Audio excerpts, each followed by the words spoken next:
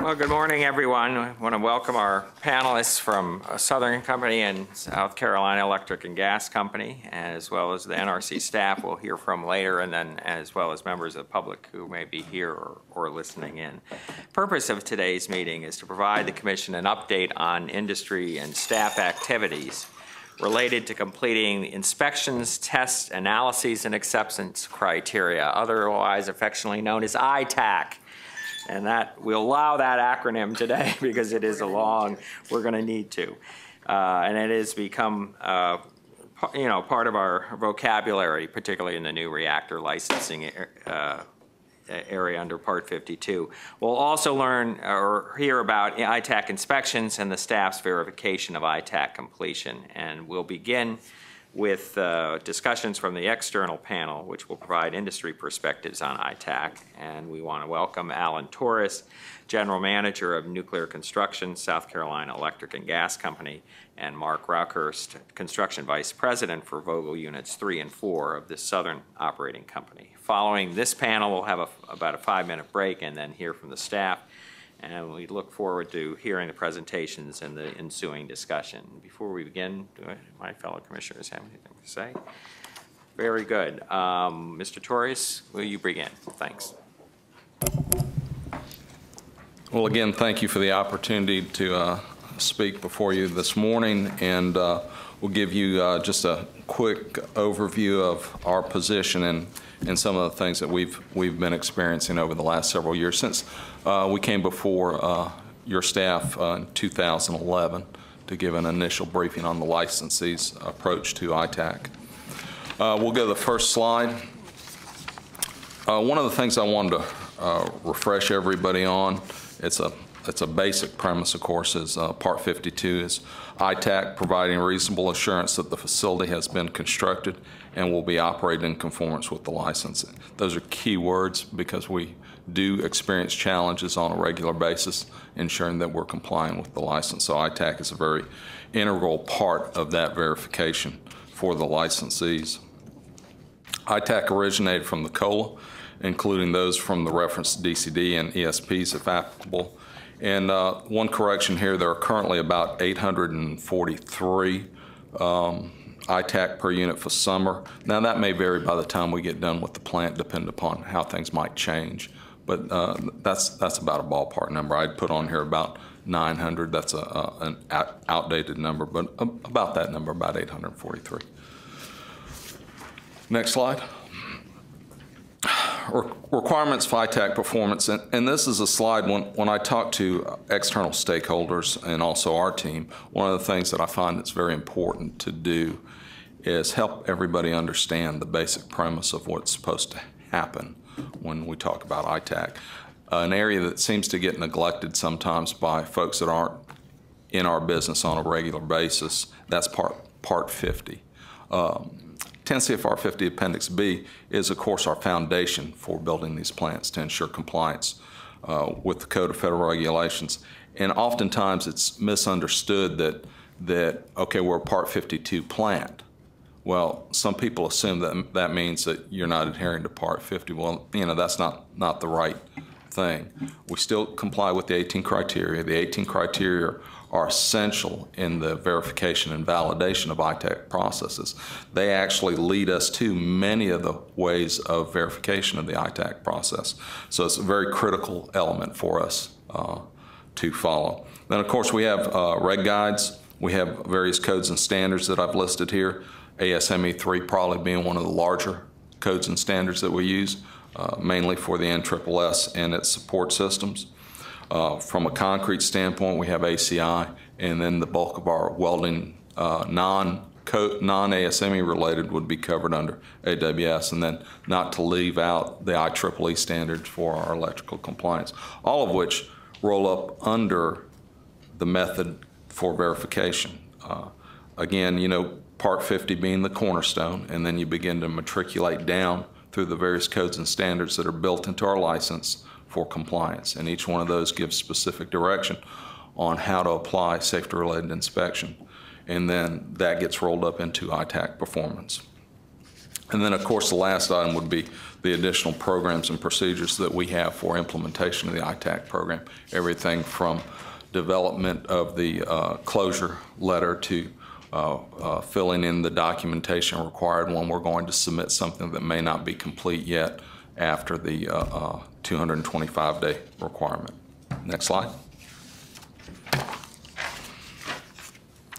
Just a, a- a pictorial on the uh, ITAAC completion process, uh, early block being out of the way now. An area that we'll begin to get more focus on would be the blue shaded area as we begin to close ITAC in the field. An area that'll be critical for the licensees is uh, further development on the ITAAC maintenance approach and how important that is to ensure the staff is, is well informed on when we perform maintenance or when the need for maintenance uh, is happening to a component that's, that's already been closed under the ITAAC process and prior to the 103G finding. So that'll be a very critical area that we begin to put more focus on as we go down the road of closing, continuing to close uh, ITAAC. And then ultimately, of course, uh, the 103G finding prior to us loading fuel. Next slide, please. This is a good slide for myself and, and a lot of other folks. It, it, it helps put the ITAAC into perspective, categor, categorizing uh, a standard plant. This is a standard AP 1000 plant. Uh, and this is the way the ITAAC are broken down so that when you see a block that says engineering and it has 220 ITAAC, well, you say, what does that mean to you? And here we break it down such that you can get a good feel of, of what that means. As-built analysis, ASME, EQ qualification, environmental qualification, uh, engineering analysis, and uh, individual equipment qualification. Then you go down to construction, uh, 187. So here, here also is an area that a lot of folks thought when we talked about ITAAC that all 800 and some odd ITAAC would be done during construction. That's, that's not necessarily the case. Here you can see that specific construction ITAAC, there are 187 of those in the standard plant. Uh, 220, as I said, in engineering space. Now you go into initial test program, 274, so another large population that occurs in an area other than the construction phase of, of ITAAC. So that'll occur a little bit further down the line. And then all the way down to uh, security, and that pertains to the systems that support uh, the physical security plans. Next slide. I wanted to give you a couple of examples of uh, significant evolutions that have occurred on a construction site, but they have multiple ITAAC associated with them. Oftentimes, when we talk about ITAAC, it's viewed as okay, a system has an ITAAC or a component has an ITAAC. Well, here are some very large elements of the construction process that have multiple ITAAC associated with it. And I think uh, that that in itself shows uh, the depth and breadth of, of the inspection and test and analysis program that takes place. For example, on ring number one, and this one happened to be for unit two, there's the functional arrangement ITAAC. There's an ASME ITAAC because the uh, uh, containment vessel is a pressure boundary component covered under ASME. Then we have the individual uh, NDE associated with an ASME weld, which is also an ITAAC. And then finally, uh, a seismic category one equipment component relative to the, to the CV itself. Then we go on to something like CA20, a large structural module. Well, of course, we go back to the physical uh, arrangement spent fuel volume because CA20 contains the spent fuel pools. Cask washdown pit, again, that's self-contained inside CA20. And then finally, as-built concrete wall thickness for determination of um, ensuring we have sufficient wall thickness for radiation. Uh, next slide, please. Some examples on the uh, Unit 3 side. Uh, again, with the uh, placement of the CV bottom head on Unit 3, uh, we have functional arrangement, ASME, seismic, as-built concrete thickness for the shield building. Exterior walls in Unit 3, simple things like uh, wall thickness for non-rad.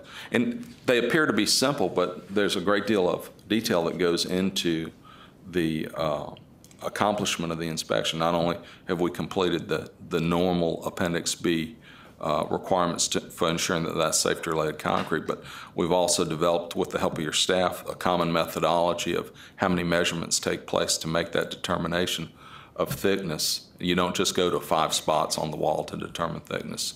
Uh, So that's been well laid out. Uh, Shear wall and floor thickness, uh, uh, several of those ITAAC. And then finally, on the bottom of the page, turbine building foundation. And, and it's interesting, most people would assume that, well, that's non-safety related, but that's also still part of our fiscal arrangement because of its potential impact to the nuclear island. Next slide, we'll talk about lessons learned. And I'll be covering this for uh, both us and Southern. Um, Clarifications on ITAAC requirements to vendors has been very key to us. We learned that early on uh, through both vendor inspection and uh, self-assessment inspection by the uh, licensees. Importance of understanding uh, documentation requirements. What do you need from the vendor to show closure of an ITAAC? That level of documentation, we had to help the vendors understand the needs for that development of documentation. Validation in the vendor shops. Uh, We have residents in several of the vendor shops to help us with that. We also avail ourselves of opportunities via both uh, quality assurance surveillance and, and customer witness and hold points to coincide with uh, critical ITAAC evolutions. Completeness of critical information, again, going back to the documentation component, some pieces of paper require more detail than others. For example, uh, ultrasonic measurement thickness on an accumulator tank, how, how many places were the measurements done? What was the calibration of the equipment? How, how was the process done? Closure package preparation, that's no small task because we want to ensure that we have a completed package sent to your staff so that uh, there are a minimum number of questions that uh, helps expedite the process and ensures that the opportunity for the public when the uh, package or the notice goes into uh, the Federal Registry of Closure. So uh, it's very important for us to ensure we have an expedited uh, closure package process periodic assessment of the, of the process itself. This is a check and adjust. Uh, we avail ourselves of both uh, a peer benchmarking from Southern and also external uh, from um, prospective uh, license applicants such as Dominion have participated on some of our benchmarking at, at our site and our assessments, independent assessments on the uh, ITAAC process itself. Next slide.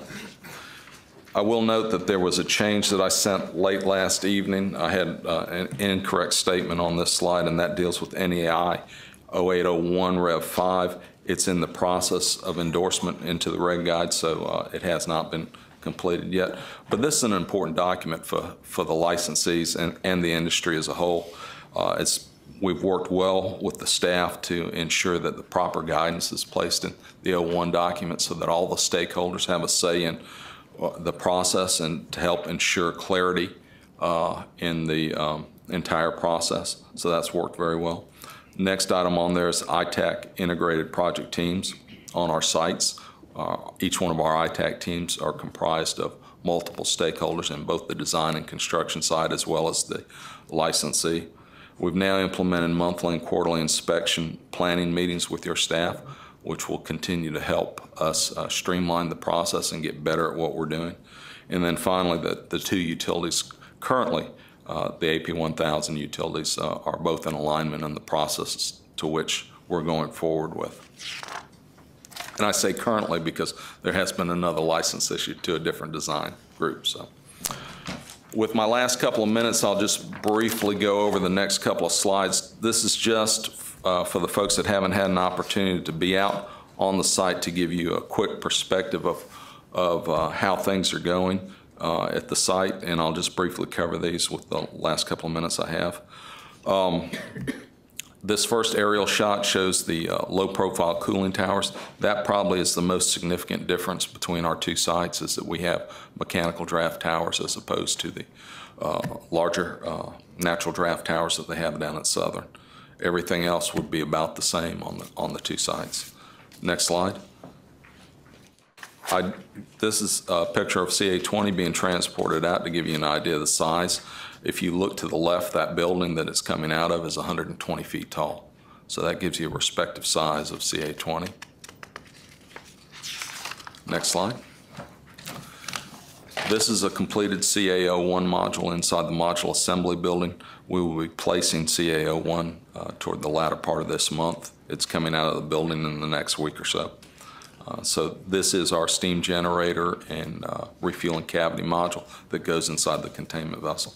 Has multiple ITAAC associated with it. Next slide. This is a picture of uh, placing the lower head on uh, Unit 3. Again, as I showed you in the milestone uh, slide, there were multiple ITAAC associated with that.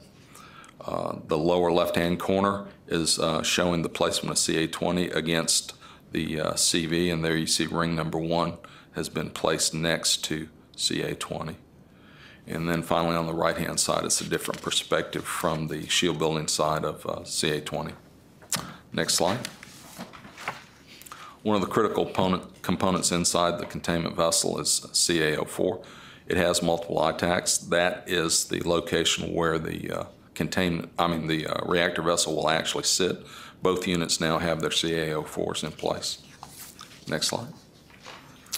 Again, another critical component that has multiple ITAAC, and this is CA05 going inside the containment vessel. Next slide. We get a couple of uh, equipment pictures here. This is the first steam generators being offloaded. Uh, You'll note that the uh, end of the steam generator looks a little different, and that- that's because the uh, reactor coolant pump uh, casing has been welded onto the steam generator. Since we did have some time in our schedule due to other issues, we were able to make that critical weld in the shop environment as opposed to having to make that in the field, which uh, lent ourselves to a great deal more quality evolution.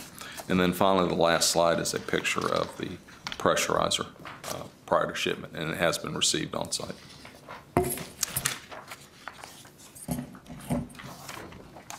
That ends my remarks. Thank you very much. Okay, Mr. Rauckhorst. Good morning.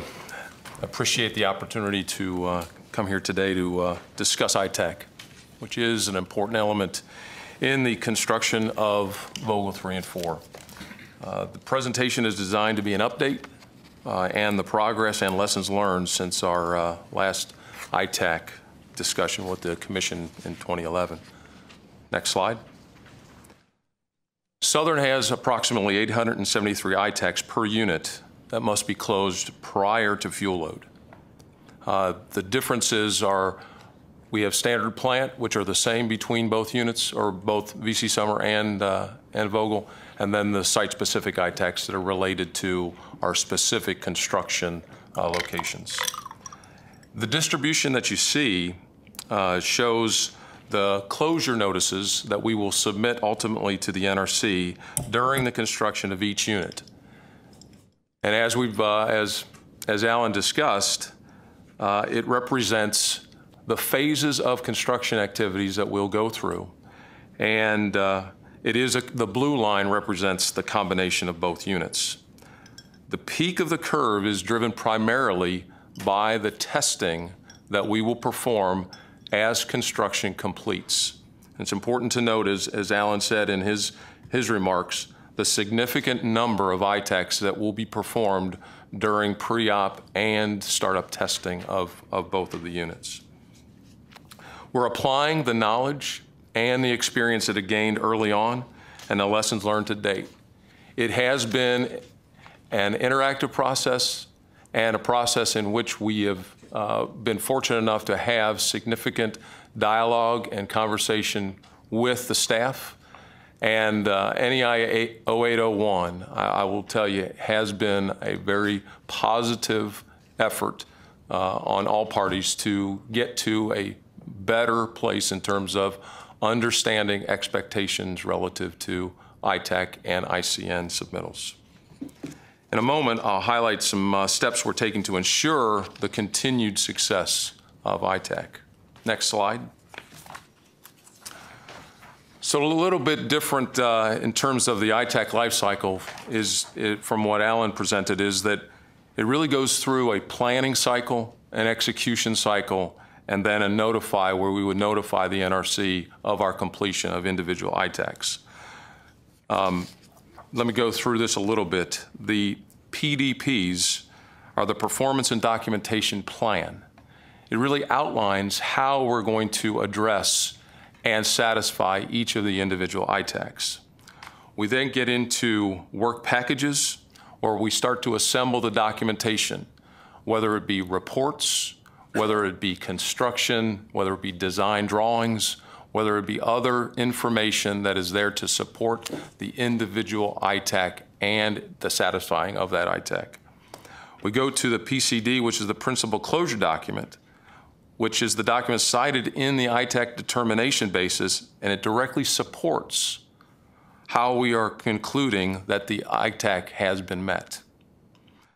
The completion package is really our way of putting all of that documentation together, and it represents all of the supporting documentation that we will maintain as records to support that individual ITAAC.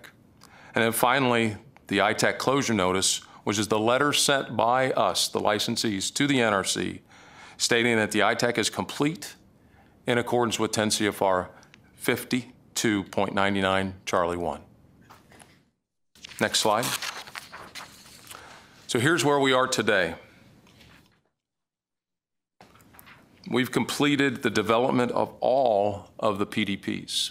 So we have our plans put together and ready to execute. Each plan is the guidance document to support the closure. For Vogtle 3 and 4, we're now in the process of, of screening the work packages to ensure that each of the work packages that represent both field activities and vendor activities and other activities done by the design organizations uh, are there to support the completion of the ITAAC. As work increases, the number of work packages related to ITAAC will rise. And as the construction increases and we get into the testing programs, uh, we'll, we will have over 5,000 work packages that will have supporting ITAAC closure. To date, 26 ITAAC closure notices have been submitted to the NRC and approved. This includes both units for Vogtle 3 and 4. And there's 25 additional ones that are anticipated to be issued this year. Next slide. Uncompleted ITAAC notifications, or UINs, is a requirement under 10 CFR 50, 52.99 Charlie 3, where the licensees shall submit a methodology for all ITAACs that have not been completed by at least 225 days prior to fuel load. And that is in to support of staff in its publication of a notice for, of intended operation. And as you can see from what we've been talking about earlier, with the testing, uh, both pre-op and startup testing, there will be a significant number of ITAACs that will not be completed prior to that 225-day notification. It's important. UINs must describe how the licensee will successfully complete all of the uncompleted ITAAC. They'll state items completed as well as items to be completed and how the acceptance criteria will be met. The appropriate level of detail on the inspection, testing, and analysis and a schedule will also be included at that point in time. So we'll be through a majority of the construction-related activities, and we'll have a very good understanding, both ourselves and VC Summer, about how the rest of the ITAACs will be closed out. Uh, we're anticipating that as, as noted earlier, a significant number of those ITAACs will have final completion in that, in that period. Um, so SCANA and ourselves have been working on ways in which we together as licensees could present options and alternatives to the NRC about presenting uncompleted ITAAC notices to, to the staff earlier than even this requirement. And uh, today I can tell you that we have reached alignment on an approach that we would like to discuss with staff moving forward.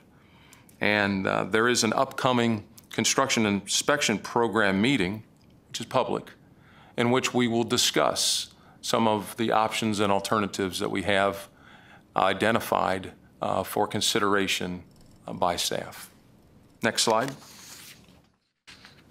So moving forward, a significant amount of progress has been made in the last four years towards understanding and implementing ITAAC. Both the Vogtle and Summer projects are committed to continuing the interactions both with the industry, including any new licensees, and the NRC to ensure that the best practices are shared and implemented. With the recent transfer of uh, inspection planning uh, to the projects branch within Region 2, we see this as an additional opportunity for us to work on the planning and coordination with the NRC relative to their inspection activities. I think you'll hear more about that today. But a lot of effort is in terms of coordination uh, between our schedules, the work that's progressing on the projects, and the inspection activities that both Region 2 and NRO does uh, at the site. Um, We believe that the change is very positive, and uh, we're planning on to support the NRCs as it aligns with our project team approach. Uh, As, as Alan mentioned, we've now scheduled meetings in order to increase the coordination and planning efforts between our organizations. Uh, And we had a recent meeting in June in which we discussed the cable management program, uh, the coatings on equipment inside containment, as well as the status of the ASME reports, which will be an important component for the components that are already here on site. So in closing, I, uh, on behalf of Southern Company, I assure you that our organization is committed to the safe, quality, and compliant construction of these units. We understand the importance of ITAAC and the way in which ITAACs demonstrate our commitment to both the public, our customers, and to the NRC. On the next slide. Uh, I don't have as many uh, pictures as, uh, as Alan. I figured it's pretty much the same. But this is a picture of uh, Vogtle site as it exists last week. Uh, And as you can see, there is a significant amount of progress in the construction activities. Uh, the- As the volume of construction increases, uh, so will our focus and efforts on the quality and compliant construction. Working with our contractors and with our vendors, that's where we, as licensees, will ensure that we are meeting the requirements and expectations. Thank you. That concludes my remarks. Well, thank you both for your presentations, and we'll begin the questioning this morning with Commissioner Baran. Alan, Mark, good to see both of you again. Um, Thanks for being here. I really enjoyed my recent visits to Summer and Vogtle. Um, Mark, you discussed um, your planning and scheduling to ensure timely completion of the ITAAC um, and submission of the ITAAC closure notifications to NRC. Um, You focused on that, but this is really, all these questions are for both of you. Um, Of course, there have been several um, unanticipated design changes with the AP 1000. Um, Can you walk us through how you analyze those design changes uh, as they occur to determine if they affect any ITAAC? Sure. My, uh, my organization uh, is comprised of, uh, of multiple technical groups. Um, I have a technical compliance organization and I have a supplier compliance organization. And when we see issues or design changes that are, that are being is- issued by uh, the design authority, we review and evaluate those design changes relative to its impact on ITAAC we incorporate that information into those work packages in order to make sure that we are correctly getting the information, whether it be from a vendor or in the field, that meets the ITAAC requirements. So that's really where our, my organization is focused, is on the front end as the design changes come out to ensure that we have that information on the back end. And how much uncertainty in the scheduling and the work planning are those changes creating? It is a construction project. And uh, uh, with a construction project, the best laid plans, right, will always have changes. And uh, we have had some challenges related to some of the schedule impacts. Uh, I don't know that I would characterize it as necessarily affecting ITAAC, um, but it is related to the overall construction process. And uh, I don't know if Alan, if you want to, if you want to say anything more, but I- that's really where we're, we're seeing it. Um, So not in the ultimate information that we get, but just in the sequence of activities that we're having to execute. Yeah, I would just like to add uh, a couple of things here. You know, the first phase of uh, the change process involves the development of the uh, design change paper at, uh, at the uh, designer Westinghouse, and it too has a flow process that includes a scrub VITAC compliance in the license, and then the licensees get that document to do an additional scrub VITAC. So I agree with Mark. To date, most of the changes are, are very limiting to ITAAC, but they, from, uh, to answer your question relative to uncertainty, there have been a number of uh, uh, stumbling blocks for us to deal with relative to design changes impacting the overall completion of the, of the projects. And, um, you know, all that information is, is public information relative to the current schedules that we're on. But there are challenges. We do continue to work with our uh, stakeholders, both from uh, our state regulator standpoint and, uh, and our uh, contractors to help understand how each one of these changes uh, impacts the overall schedule completion. Okay. Um, A lot of the construction work on the sites obviously is being done by contractors, uh, with SCANA and Southern overseeing the work. Uh, I'd like to ask about the level of licensee management for ITAAC. Um, Will someone from your companies physically observe the closure of every ITAAC? Or for some ITAAC, will it be a review of documents prepared by a contractor? Well, I'll take that question first. Uh, Well, the process we've set up at site is, i- and it's uh, contractually required actually, is the uh, um, Westinghouse has the lead for the ITAAC team. Uh, The consortium works together on the construction side, supplying the information to Westinghouse to develop the ITAAC closure process. It's then submitted to the licensee. The licensee goes through a series of reviews with that, and ultimately, we're responsible for the accuracy of that closure package and then final submittal to, to the staff uh, for posting in the Federal Registry. We do a series of inspections uh, where we can do inspections in field.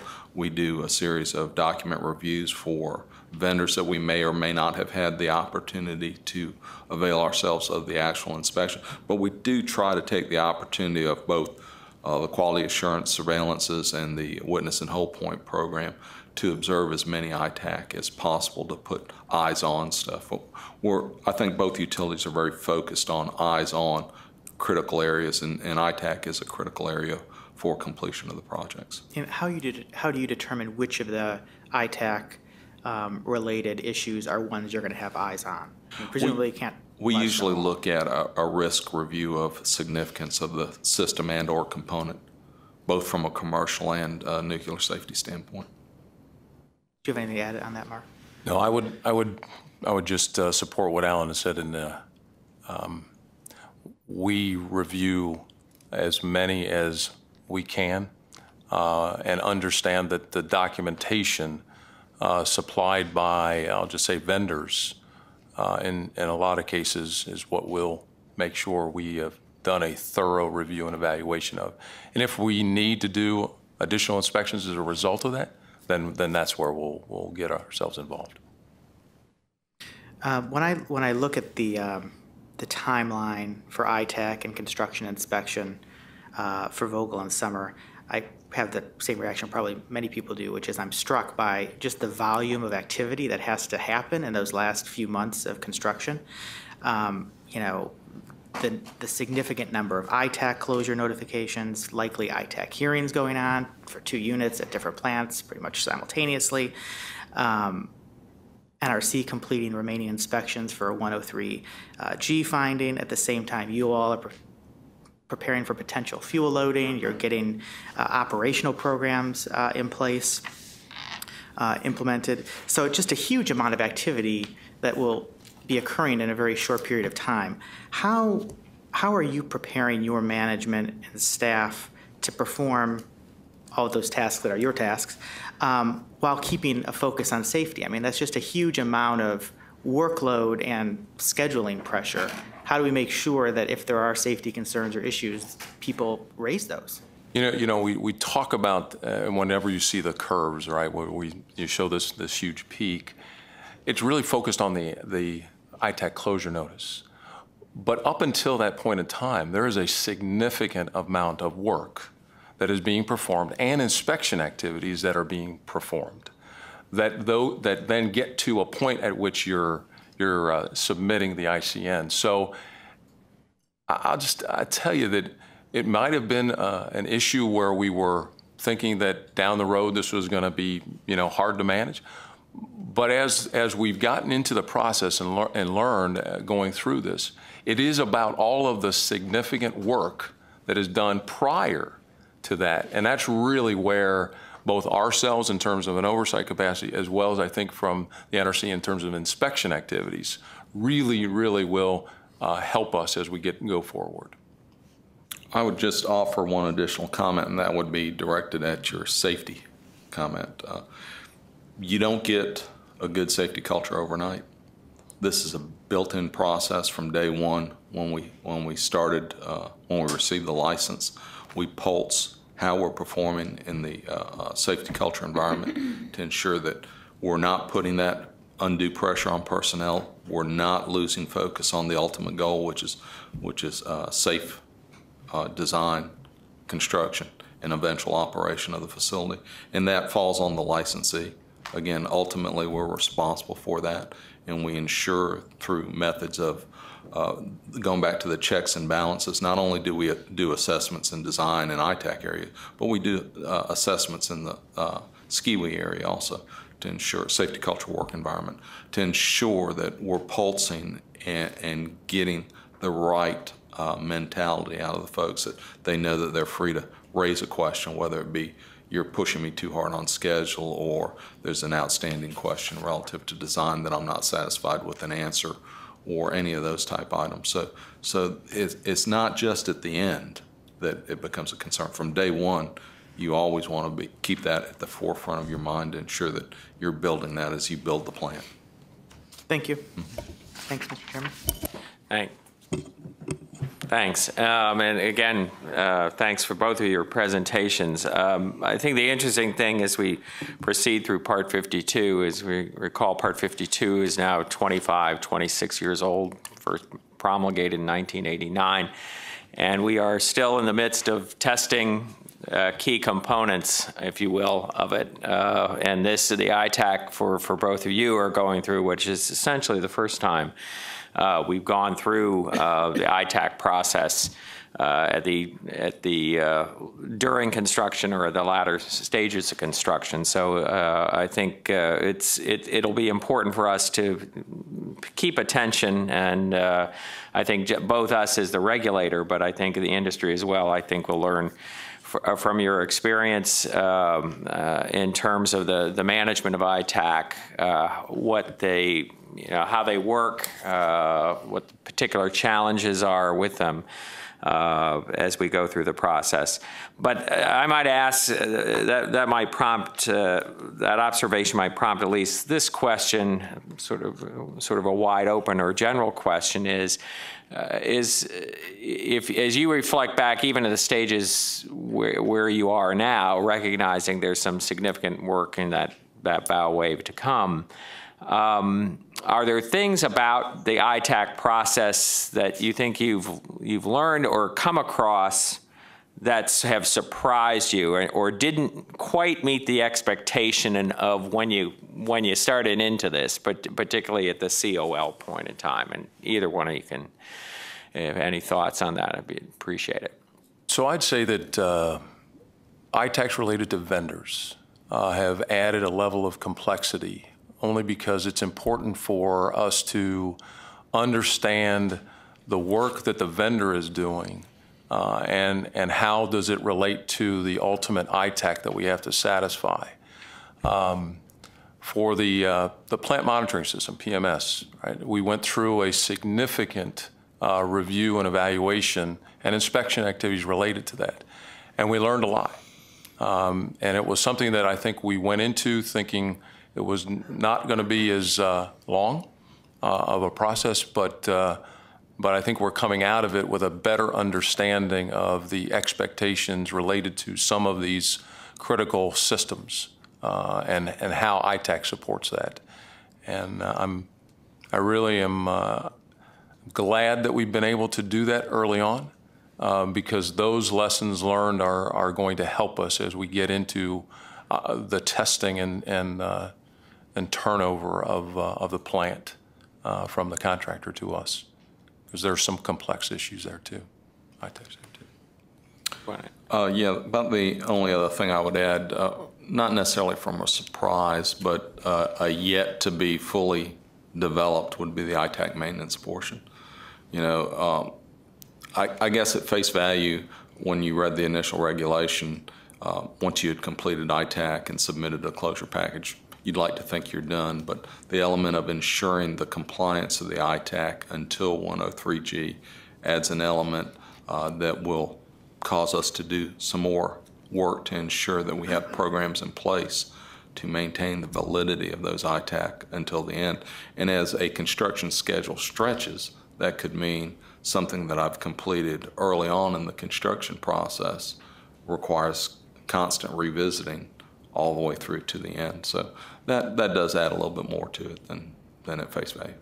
Hi, uh, Mark, going off of your, uh, your comments, is how, how would you say that the, the process with ITAAC in terms of the vendor oversight or the vendor interaction, it would be different from the, what I'll call the first wave of construction or under, under Part 50?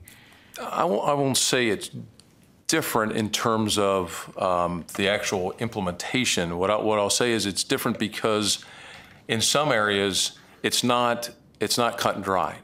Um, when we talk about CA20 or we talk about CA04, we talk about physical structures. It's very clear whether you meet or don't meet the ITAAC requirement.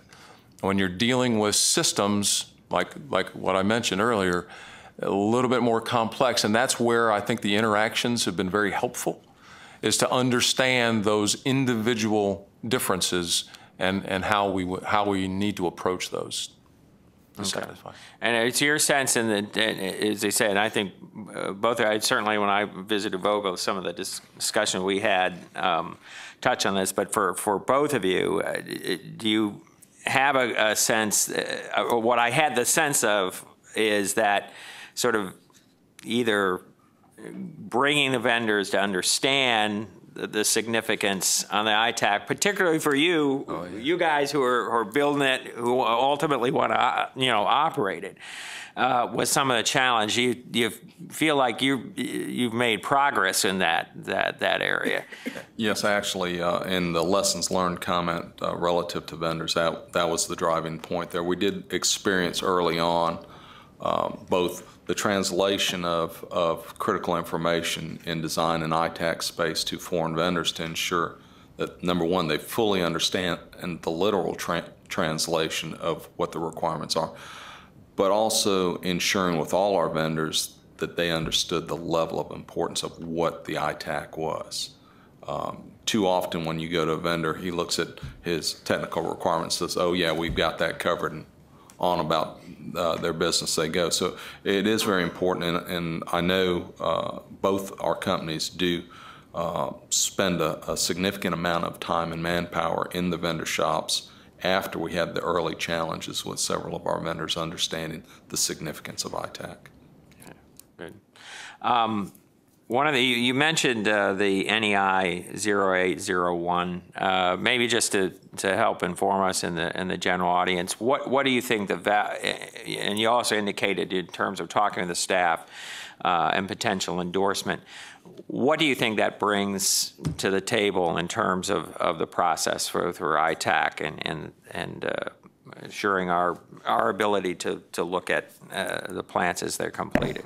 Well, from early outset, uh, even prior to the issuance of the license, I will uh, give credit to both the staff and, and NEI that we sat down as collective groups and said, okay, here's here's a requirement in Part 52. How will we implement this? How what will be the end product? And early on, again, before any of the licenses were issued, uh, both groups got together with with the uh, prospective licensees and began to develop uh, the process. And once we had the, the basic premise of what ITAAC is and isn't, then the next step of, okay, what's the end product got to look like? And then how do we facilitate that? So, so the uh, guideline itself is, is just that. It is that structure, that outline, that hard, fast uh, document that helps lead you through the overall process of ITAAC. And the development of that document, I thought, was um, uh, extremely beneficial to the licensee in that we not only had uh, the industry stakeholder in NEI, but also the staff. We submitted we submitted drafts and said here's our here's an approach, and we also did this in a public forum such that you know if there were opportunities for the public to make comments on the process, it was there. Uh, so this this gives us the structure that we need to go back and develop the detailed level of procedures on each one of the sites to actually make the process flow. And it's a work in progress. Um, as you see that you know we're, we're at, at Rev five, so yeah, we we've gone through several iterations, and we'll continue to do that. Uh, uh, you know, the good sign of of a, an industry that understands itself is constantly improving, checks and balance, and, and we will do that until each one of us receives a 103G, and then we'll continue to do that in operational space under our operational programs. So, a document like uh, 0801 is essential to the process that we have in place. Good. You wanted another thing? No, I was going to say, we, we learned early on, right? We, uh, at Vogtle, we had some, uh, some ICNs that did not meet expectations. And uh, I think by getting an alignment in terms of expectations and understanding of the level of detail of information has been incredibly valuable for us as we move forward. Um, we're going to continue to learn. And, uh, and applying those lessons learned will be uh, an important element, as uh, Alan mentioned, for us moving forward. Okay. Thank you, Bo. Commissioner Svinicki. Well, I'll add my thanks to both of you being here today. Um, I think each of you mentioned the fact that it's been uh, since 2011 that we have had uh, uh, perhaps your organizations represented in front of the commission, and that reminds me, and perhaps even my colleagues sitting here are not aware that um, when I joined the commission, given at the time the forecasts of the amount of new reactor activity in the United States, our commission met quarterly on, and in a public session such as this on new reactor activities. That was the pace of things then. So um, now uh, I think it's it's very timely that we're discussing this today. I know that some might ask the question, well, if the commission's meeting on ITAAC, what's the issue with ITAAC? And there doesn't, in my view, always have to be some challenge or issue. This process is a very, very important part of the demonstration of safety prior to operation, and therefore uh, it's also uh, acronym laden and uh, uh, full of a lot of jargon. So I think that our commission meeting to discuss this today is important, and as your presentations pointed out, this will only be of growing importance in the coming years as you proceed uh, towards operation at these uh, reactor construction, what are now construction sites. Uh, all that being said, it's interesting in this country when you look at it. Uh, the chairman mentioned, was it 1989, the Part 2 came into uh, existence, and uh, you have an option in this country. You have two step licensing or one step licensing.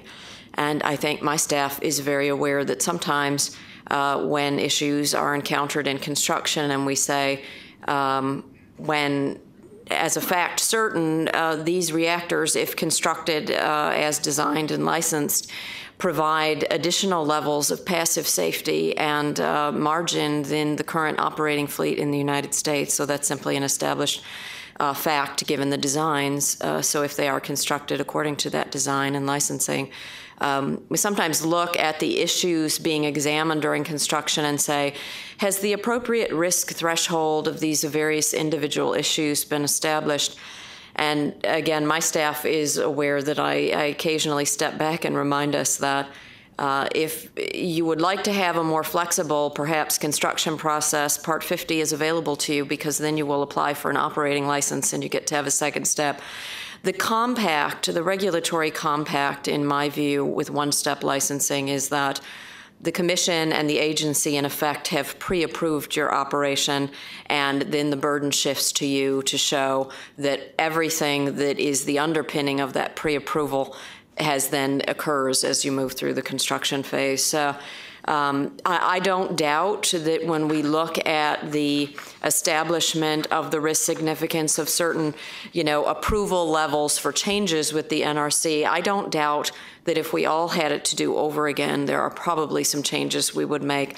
Uh, not only perhaps in uh, looking once again at ITAAC establishment, but also in the um, what we call the, the tier two, tier two star types of information that comes out of uh, the approved design, the certified design. So I think uh, certainly if there were going to be in this country a lot of follow-on construction after Vogtle and Summer are complete, I don't know whether that will occur or not. Right now, it doesn't look like it. Um, I don't doubt that we would have a very robust lessons learned to go back and look at some of those threshold determinations that we made. I think at this point, we're so deep into this and the level of activity is high enough that we're not going to pause to go back to first principles and look at some of that. We're going to push through with the early uh, thresholds that we set and move forward with that. Um, I will ask uh, some specific questions. Roles and responsibilities is obviously very, very important. I would ask each of you, as you've looked at the clarity of engaging between NRC's Office of New Reactors and Region 2, do you think NRC has uh, well established and clear roles and responsibilities of, of where you need to turn for various um, engagements between NRO and Region 2? Is that clearly understood and does it work well? I'll take that first. I- I'd say yes. I I think we have uh, um, uh, extremely good access to both groups. Uh, We communicate on a regular basis. Uh, I think uh, once you ask your staff that same question, uh, they would reiterate the same thing. Uh, It's important to note that everybody doesn't agree all the time on a technical issue, but the forms that have been established to put this information out before each one of the groups, and if needed, you know, to go from region to Washington or uh, the other way around, I think that process works well. Um, it's availed us the opportunity to to sit and talk about uh, uh, license amendments or proposed license amendments and the direction that's needed uh, to give the clarity that's ultimately required to uh, uh, satisfy the, the regulation to, to make that change to our design. Um, I think, you know, early on, it may have, we may have been challenged a little bit on understanding the overall uh, process to get to the, to the end state. But uh, as we mature and go through this, unfortunately, because of the number of changes, we've had some opportunities to uh, uh practice. But uh, it, I, I, do believe the process works well. Uh, you know, I think uh, going back to your initial comment about when we started the process, there were some 26 license applicants. Um, I do believe that we are forging the future for our industry and the opportunity for somebody else to go behind us and build an AP 1000 once these units are completed. They will find the process significantly more streamlined and easier since we will have worked most of the kinks out by then. But I do, I do believe the uh, cooperation from uh, your staffs is extraordinary. Thank you. Mark, did you want to add anything? I'd say it boils down to communication. Um, and we as the licensees own that accountability for a lot of that communication and coordination. And uh, again, a lesson learned from us from early on is, is that uh, we needed to understand ourselves the roles of, uh, of each of those organizations and to ensure that there, there was good communication by ourselves with each of those groups. And I think as the level of communication has increased, uh, the level of coordination and planning has increased, and uh, we're in a very good position right now. Uh, but it is, has been one in which we've, this is part of those lessons learned that uh, we've gotten from the beginning is how did we get from get that early on interaction to ensure that we're uh, that we're aligned, and uh, and it, we are in a, a, much better place today. I appreciate that, and I you know I would note that when there was a view that there would be more uh, follow-on construction activity occurring immediately after uh, these experiences at Vogtle and Summer. I think the view was that uh, maybe some of the same experienced personnel could carry that from project to project. I would note that if the United States takes another decade long or multi decade long pause in new reactor activity, uh, inevitably, uh, I think that, uh, well, I think what it will do is shift a burden that these lessons be well documented because I think that that will be the mechanism through which they will be communicated to those who will uh, follow on in similar activities. Um, I appreciate that you've shown the, the charts about ITAAC closure. Uh, it is inevitably, I think, making reference to my earlier comment saying that ITAAC are this uh, foundational showing that things were constructed as approved.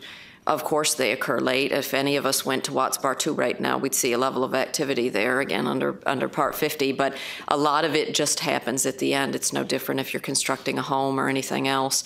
All the punch lists occur, you know, right before occupancy, as it were. Um, so I, I, you know, have worried about that in the past. It is a resourcing uh, issue for I think everyone participating in it, NRC uh, and the consortia. Uh, I will note that I uh, began, you know, with some concerns about the ability to surge to the need.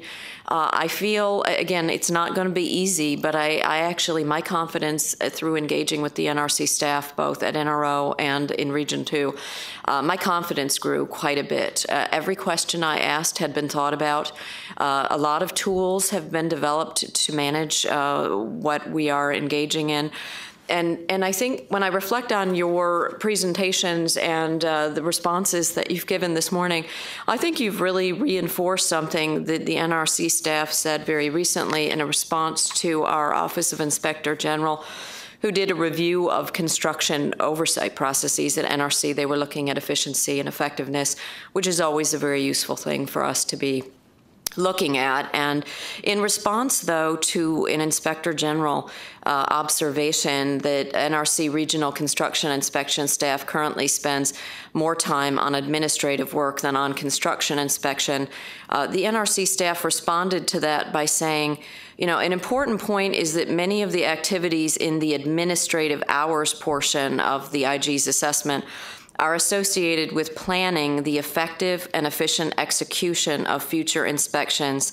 These activities are not and should not be characterized as administrative, and I think administration doesn't necessarily need to be a pejorative term, but I think the staff meant to the extent that the term administrative minimizes the significance of planning, I appreciate that both of you talked about the exquisite orchestration that the planning uh, component provides to everything that follows after, both on ITAAC and on construction inspection. So I think, in a way, whether or not you intended to, your presentation so strongly enforced that point that without uh, having very experienced planners up front and having planning processes, it would never be possible to respond to that kind of surge in activity. So again, I thank you for being here today, Mr. Chairman. Thank you very much. Thank you. Commissioner Ostendorf. Thank you. Thank you, Chairman. Thank you both for your presentations. My colleagues have asked some very thoughtful questions. I have a couple of areas I want to explore. I know that as Commissioner Finnegan noted, we had a meeting similar to this four years ago, and I recall that. And the, the bow wave issues were discussed and, and so forth and so on. And, and, because of various construction delays you've had at both sites and um, things are just or facts of life issues, as, as Mark mentioned in a construction project. Um, we're not exactly where we thought we'd be, but we are where we are. Um, if you can, you know, one of the things when I've talked to visit our the, the sites and talked to our construction resident inspectors at both Vogtle and Summer, one of the things I know that has been a little bit of a challenge is in inspection planning based on changes in schedule uh, issues uh, at both sites. Just at a, at a, high level, I ask both of you the same question. Uh, if you compare where we are today in July of 2015 to where we were, let's say, two years ago, is there greater predictability of the schedule path ahead for each site, or how would you characterize your predictability of construction uh, milestones? Well, as, as we drive forward and get more clarity on, on uh, design completion of the unit, uh, we begin to build in more uh, reliability into the schedule. And then comes the next phase is the constructor's ability to execute as written in the schedule. Uh, we try to do uh, a good job of continually communicating with the residents about specific things that they might, may or may not want to be involved in.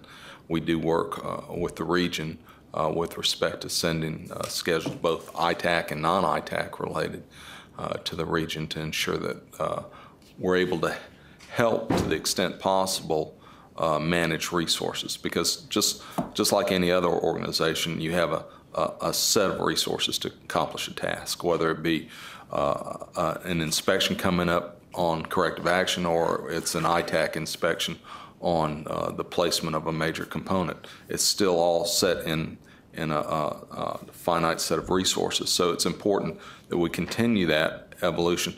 But directly to your question, as we move forward, we begin to increase the level of confidence in, in the schedule. So, for example, in a normal major construction project, you like to maintain a rolling 90 day uh, window that you have 95 to 98 percent uh, reliability on the execution dates. And then as you move out further, 90 to six months, you get you may try to shoot for an 85 percent of validity, and then be, beyond six months, you, you you begin to lower that expectation because as you near those given milestones, you've got a clearer picture of what the constraints are.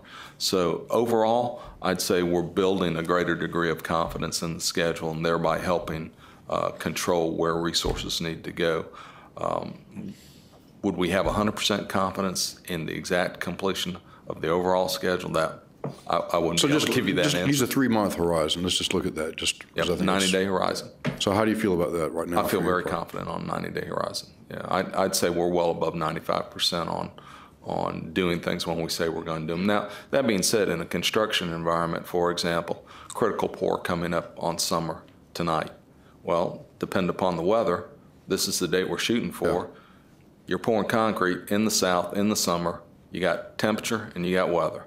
If I get a pop up thunderstorm tonight, I'll delay it till tomorrow night this time of the year, you're prone to have that kind of thing. So, you know, that date could move four or five days, uh, not not due to not being ready, but just due to Yeah, sure. environmental circumstances. So we have to factor all those kind of things into our overall schedule. But a rolling 90 day, I'd say we're, we're in the high 90s in confidence.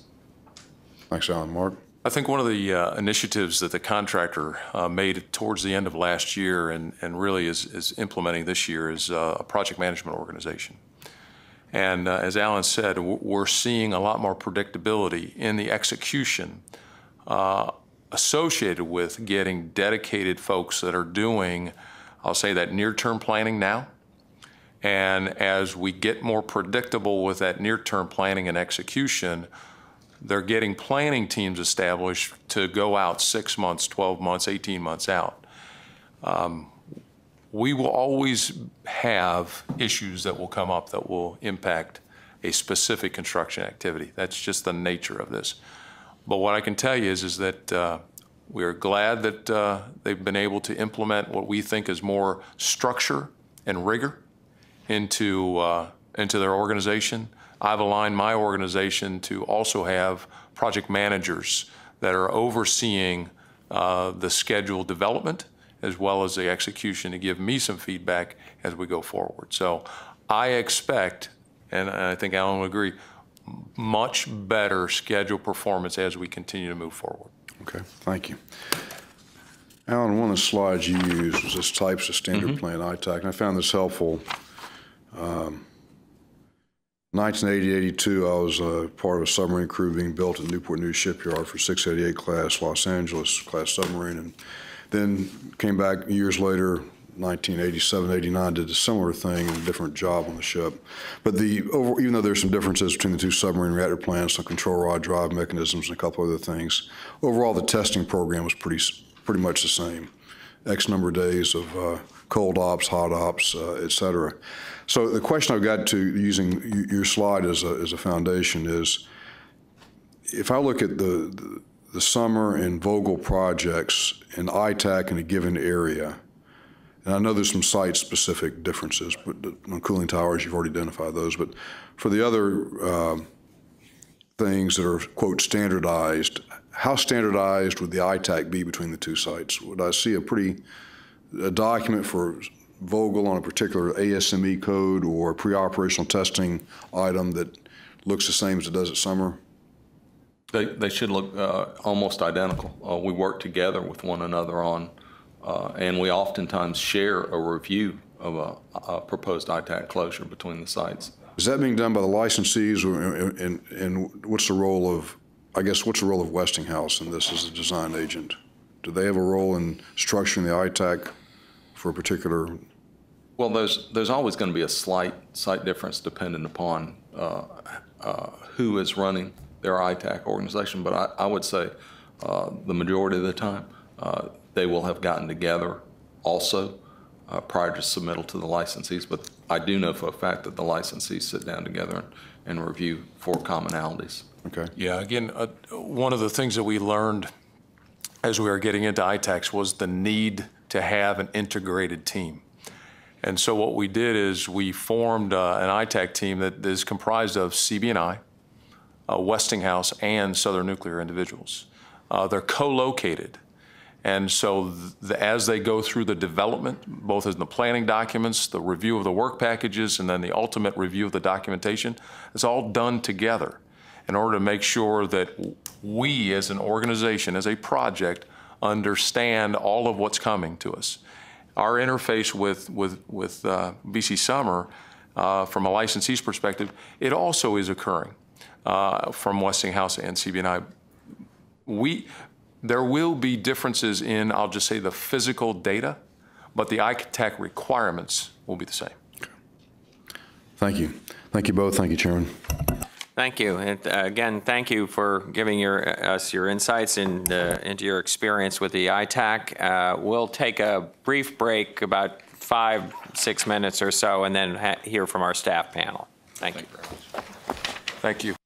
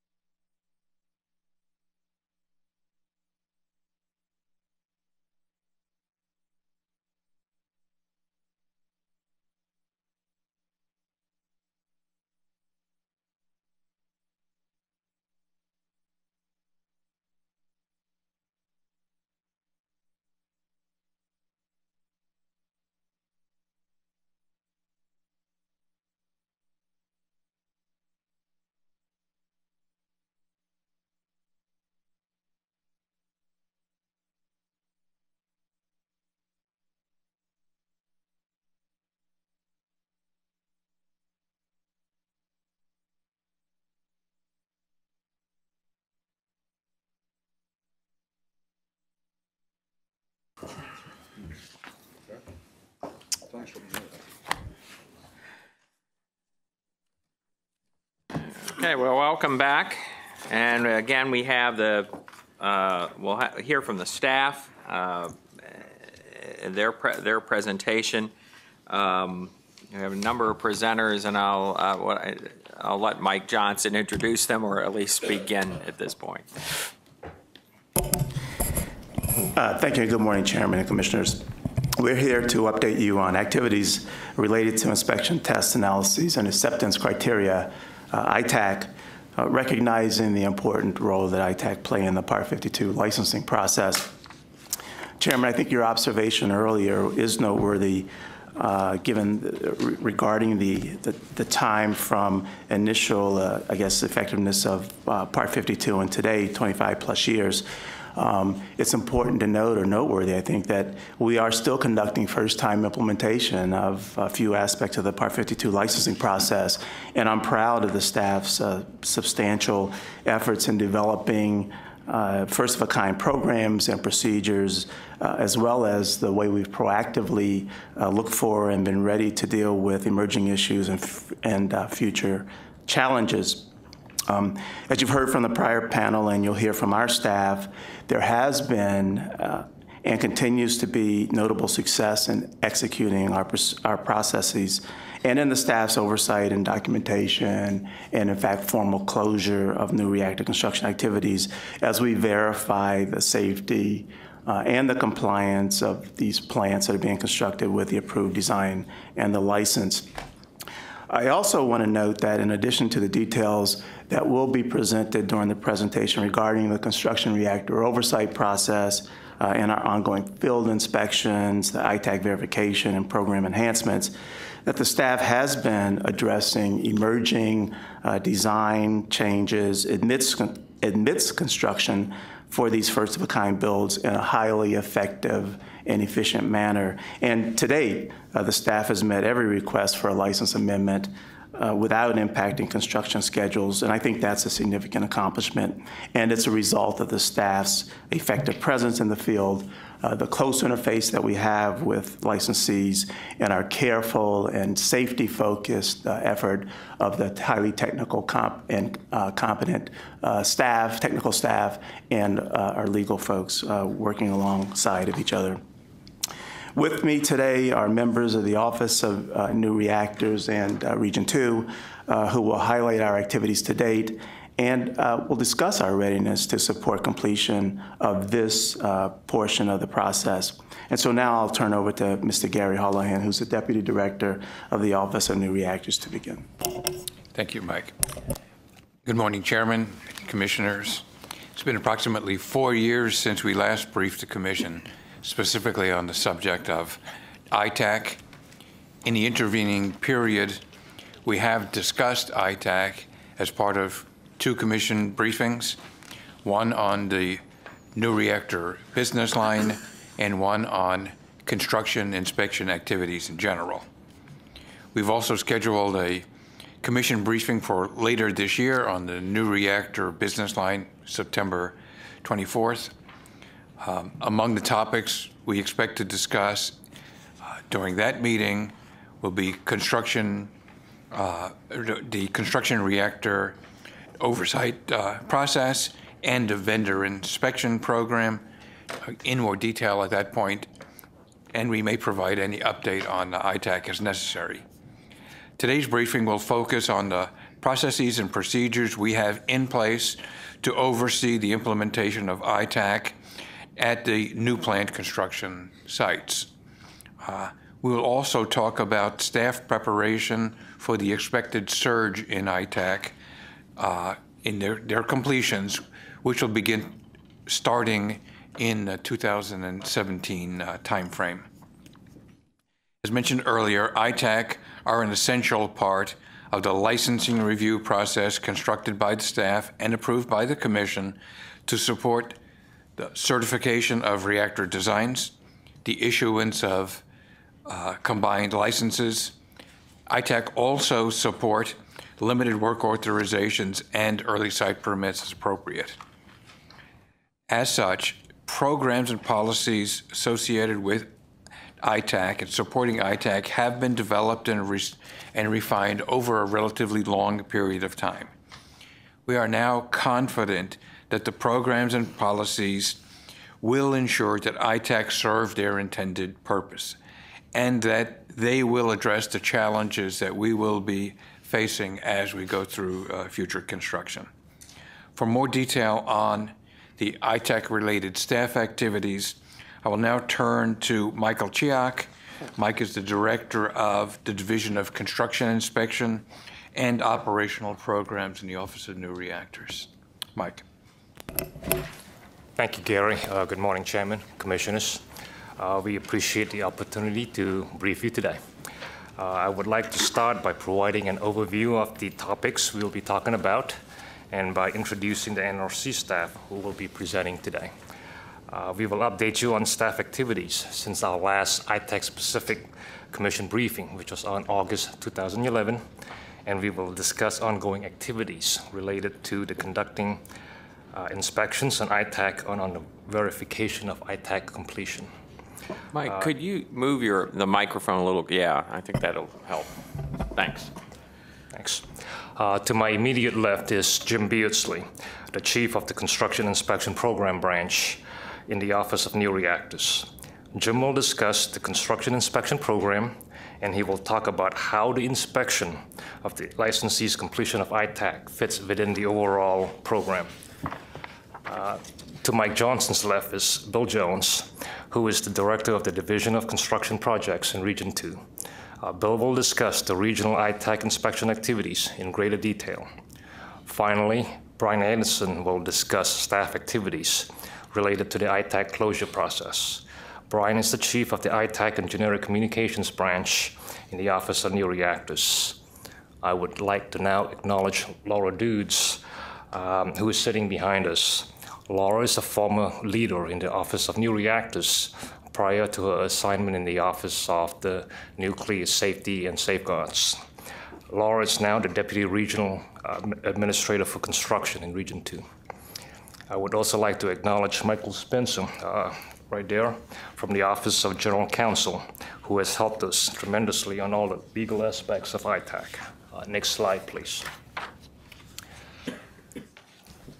When we briefed uh, the Commission in 2011, many of our inspection and ITAAC activities were in the planning and developmental stages. Since that time, the staff has completed our certification of the AP1000 reactor design and has issued combined licenses for Vogtle's Unit 3 and 4 and for VC Summer Units 2 and 3. We have fully and successfully implemented the construction inspection program and the construction reactor oversight process. We are conducting inspections to confirm that the approved ITAAC are being successfully completed and that, and that the as-built plan design satisfies license requirements. We have also been conducting ITAAC inspections at many vendor facilities to supplement our inspections at the plant sites. During our implementation activities, we have identified areas for improvement and have incorporated lessons learned to enhance our programs. Brian Anderson and Jim Beardsley uh, will talk more in detail about our le- lessons learned activities. We have continued to engage stakeholders to enhance the transparency, efficiency, and predictability of our process and procedures. We continue to hold public meetings once every three months. At these meetings, we share the findings and insights from our inspections and from other oversight activities, and we have obtained feedback on our process and procedures. One issue, and you've heard about this earlier, that has come up to our attention during our public discussions is the expected surge in the number of ITAAC completion notifications, starting at about eight to 10 months before fuel load. As a result, we have developed processes to ensure that the staff is ready to soften the effects of the surge. We will continue to interact with our stakeholders to, to refine these processes. As you've heard from Mark Rauckhorst and Alan Torres earlier, uh, we will be continuing to work with them on the UIN process, the incomplete ITAAC uh, notification processes, and uh, we will work with them in the near future. I will now turn the presentation over to Jim Beardsley. Next slide, please. Good morning, Mr. Chairman and Commission. Good morning, Mr. Chairman and Commissioners. This morning, I'll provide you a brief review of the Part 52 Construction Inspection Program and provide context on where the ITAAC fit into that program. Next slide, please. The Part 52 construction inspection programs broke it up into two high-level areas, ITAAC inspection and programmatic inspection. Based on historical construction inspection data, the preliminary per-unit estimate for direct inspection hours is 35,000 hours. The estimate breaks up into $15,000 for ITAAC inspection, 10,000 hours for programmatic inspection, 5,000 hours for reactive and allegation inspection, and 5,000 hours for headquarters technical inspection support. We expect that inspections for the first two units will exceed the estimate due to the first-of-a-kind inspection challenges and construction schedule delays. It is likely that the second two units will require less inspection than the estimate. Once the program is complete for the first four units, the staff will analyze actual data and adjust our estimate as necessary. For the AP1000s, the ITAAC inspection process starts with a sample that makes up approximately 35% or 345 of the 875 ITAAC. The selected ITAAC are considered targeted for inspection. The targeted ITAAC were selected, were selected by a panel of experts using a risk-informed methodology. As part of the targeting process, the ITAAC are broken up into sets or families with similar characteristics. The staff has developed 32 ITAAC inspection procedures. Each ITAAC family has been assigned at least two procedures as a starting point for inspection planning. As the inspectors plan and conduct inspections, they have the flexibility to shift the focus of their inspection or expand to non-targeted ITAAC to ensure they gain appropriate insight into the associated construction activity. In addition to ITAAC inspection, the staff will inspect programs that support construction. Routine inspections will be conducted in quality assurance, ITAAC management, and fitness for duty. The staff will also inspect the licensee's pre-operational testing program prior to the start of that phase of construction. Construction inspection, construction program inspections complement the ITAAC inspections by sampling factors that cut across the breadth of the ITAAC and have potential to impact ITAAC closure.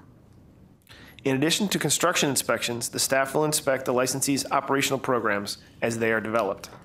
These inspections verify the programs will be implemented in accordance with the regulations and combined license requirements. Some examples of operational programs are security, radiation protection, emergency preparedness, and environmental qualification program. On a quarterly basis, the staff assesses the licensee's performance and effectiveness in assuring quality, construction quality. Similar to the reactor oversight process, the construction reactor oversight process, or CROP, integrates various sources relevant to the licensee's safety performance and makes objective conclusions regarding significance of inspection findings and takes actions based on these conclusions. The assessment process is conducted in a predictable manner, and the results are communicated semi-annually to the licensees and the public. The NRC's Inventor inspection program also complements the ITAAC process. When a vendor supplying components to the construction projects is inspected, the staff will use the results to enrich our knowledge about the development and manufacturing of the associated ITAAC systems, structures, and components. If an ITAAC-related finding determination is made as a result of a vendor inspection finding, that finding and its resolution will be included in the staff's review of the particular ITAAC's closure notice. Next slide, please. Two of the processes that the staff uses to facilitate construction inspection program are technical assistance requests and the Construction Inspection Program Information Management System, or CIPIMS. In an effort to maximize communication in support of the construction inspections and provide a record of that communication, the staff has established a process to document questions and answers between the inspection and technical staffs. Specific to ITAAC, the TARs, as we call them, may be used to resolve licensing basis questions by the inspection staff. The resolution of TARs is coordinated through the appropriate Region 2 and headquarters technical branches to provide the inspectors with comprehensive support. When appropriate, TARs will be reviewed by the Office of General Counsel to ensure there is clarity in ITAAC requirements and acceptance criteria. The TAR process may also use headquarters staff may also be used by headquarters staff to request additional inspection activity, assisting in the resolution of questions that arise from the ITAAC closure notice reviews. Once a TAR has been completed, the response is entered into ADAMS. The completed TARs are maintained in a searchable database to provide the inspectors and technical staff with an accessible record of issues for the future. To date, the volume of TARs has been lower than expected, but there have been enough to prove the process. All the TARs to date have been high quality and have met their expected timeliness goals. Two examples of TARs are an early request for clarification on the Vogtle waterproof membrane ITAAC and a TAR with questions on the minimum and maximum stud spacing for structural modules. Both of these were completed and the answers were provided to inspectors and, and then incorporated into the associated inspection reports. The Construction Inspection Program Information Management System, or CIPIMS, is a database tool developed by NRO to facilitate the planning and execution of ITAAC inspections. The system is used to develop detailed inspection records for ITAAC and their associated structures, systems, and components. CIPIMS brings together ITAAC requirements from the combined licenses and the ITAAC inspection procedures to facilitate construction inspection planning. During inspections, the staff's insights are entered into the database as discrete activities. Following completion of an inspection period, the ITAAC the CIPIMS is used to combine multiple inspections and generate a draft inspection report. As the repository of all ITAAC-related inspection results, CIPIMS is used by the staff to verify the licensee's ITAAC closure notices. Next slide, please. In 2013, the Office of New Reactors issued lessons learned reports on Part 52 licensing and the first year of construction oversight. The reports noted that the identification and resolution of technical issues and timely regulatory decision-making were challenges to the successful execution of the Part 52 process. In an effort to improve in these areas, the staff has engaged with the licensees to conduct a series of detailed design discussions. Once the licensees have completed their internal review of the detailed designs in areas that are new or technically challenging, a public meeting is conducted to provide headquarters technical staff and the construction inspectors with an opportunity to gain insight and review the detailed designs. This process provides early engagement between the licensees and the NRC in preparation for construction inspections. Some future areas planned for me meetings of this type are the upper shield building design, cybersecurity, and the electrical system design. Over the next few years, the staff will engage with industry and the public in preparation for the initial test program. The first phase of that program, pre-operational testing, includes a large number of ITAAC, as, you seen, as you saw earlier today in some of the, the, the graphs. We're conducting public meetings to gain a better understanding of the licensee's plans for the initial test program and are refining the NRC's inspection plans accordingly.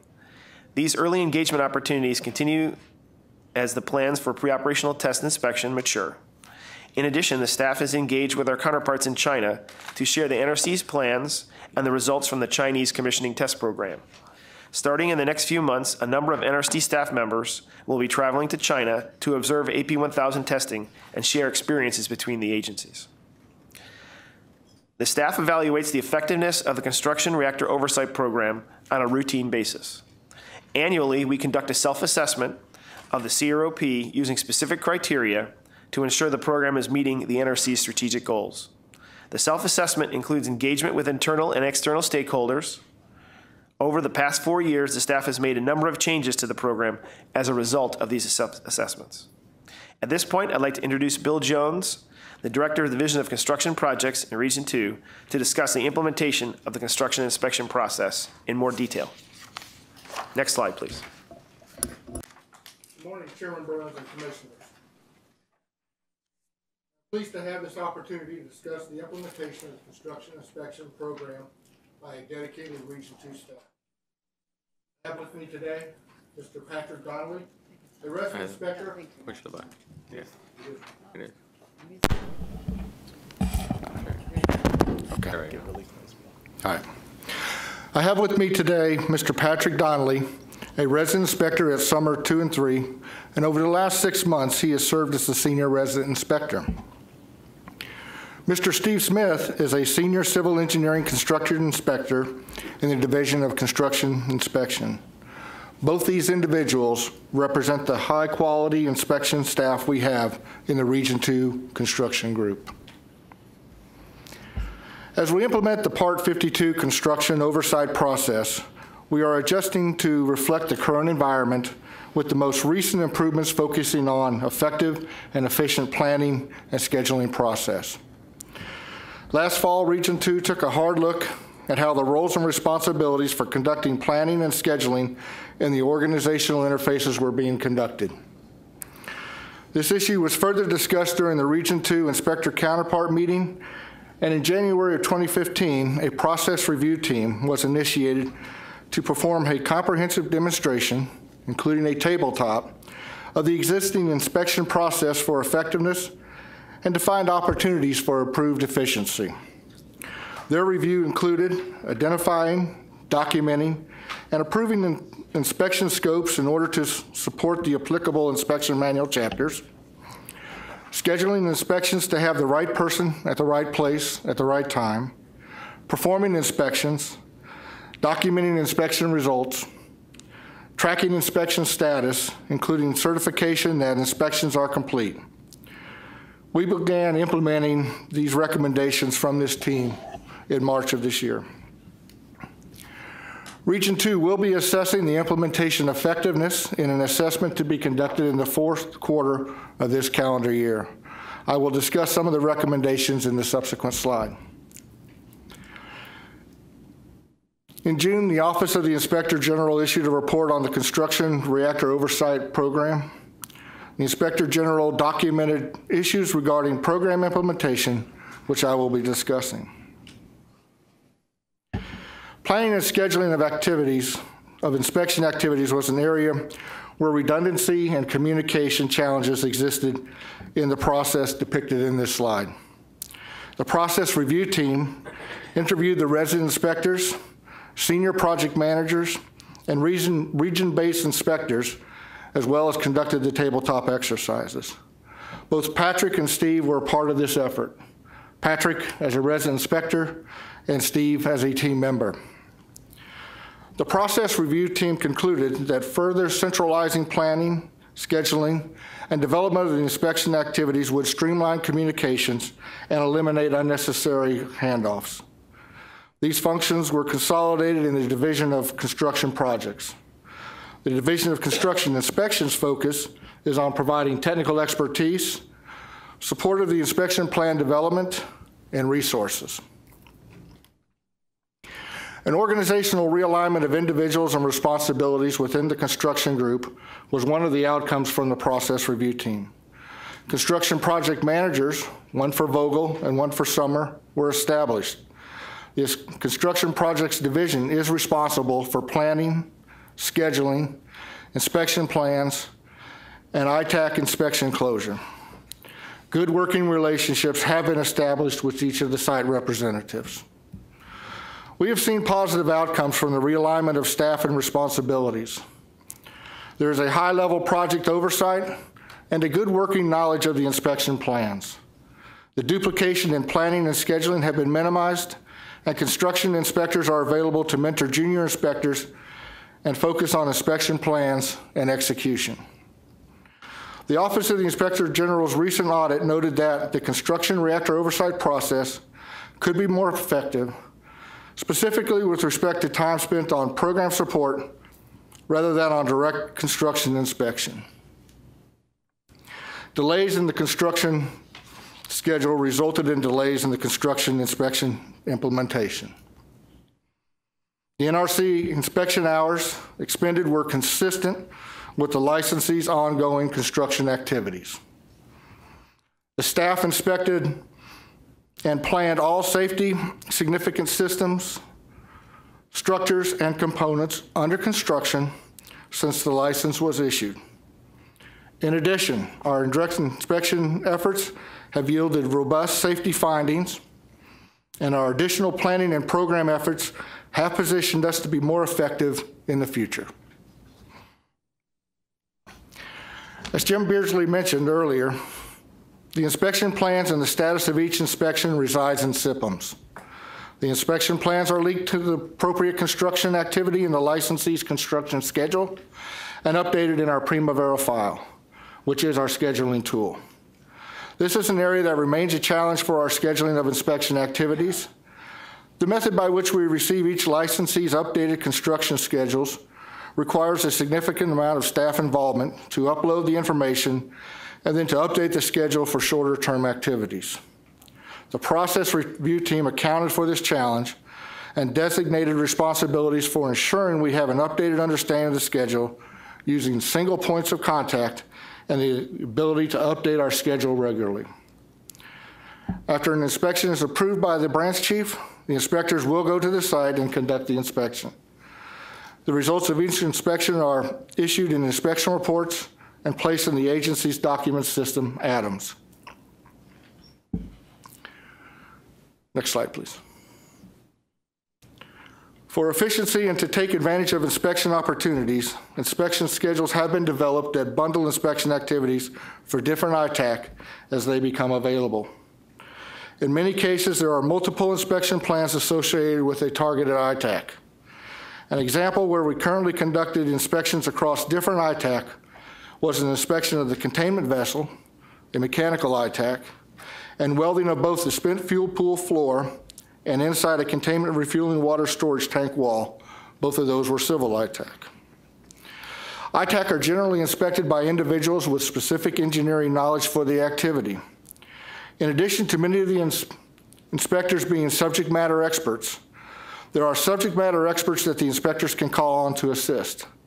A recent example was the collaborative reviews associated with the embed plates and code requirements. The collaborative review involved the resident inspectors and regional and headquarters subject matter experts.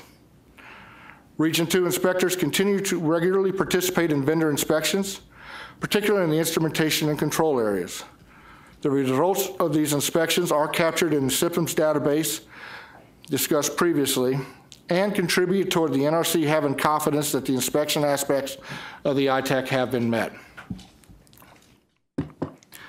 The staff has completed approximately 20% of the inspections associated with ITAAC inspection plans on each of the lead units and about 10% on each of the second units.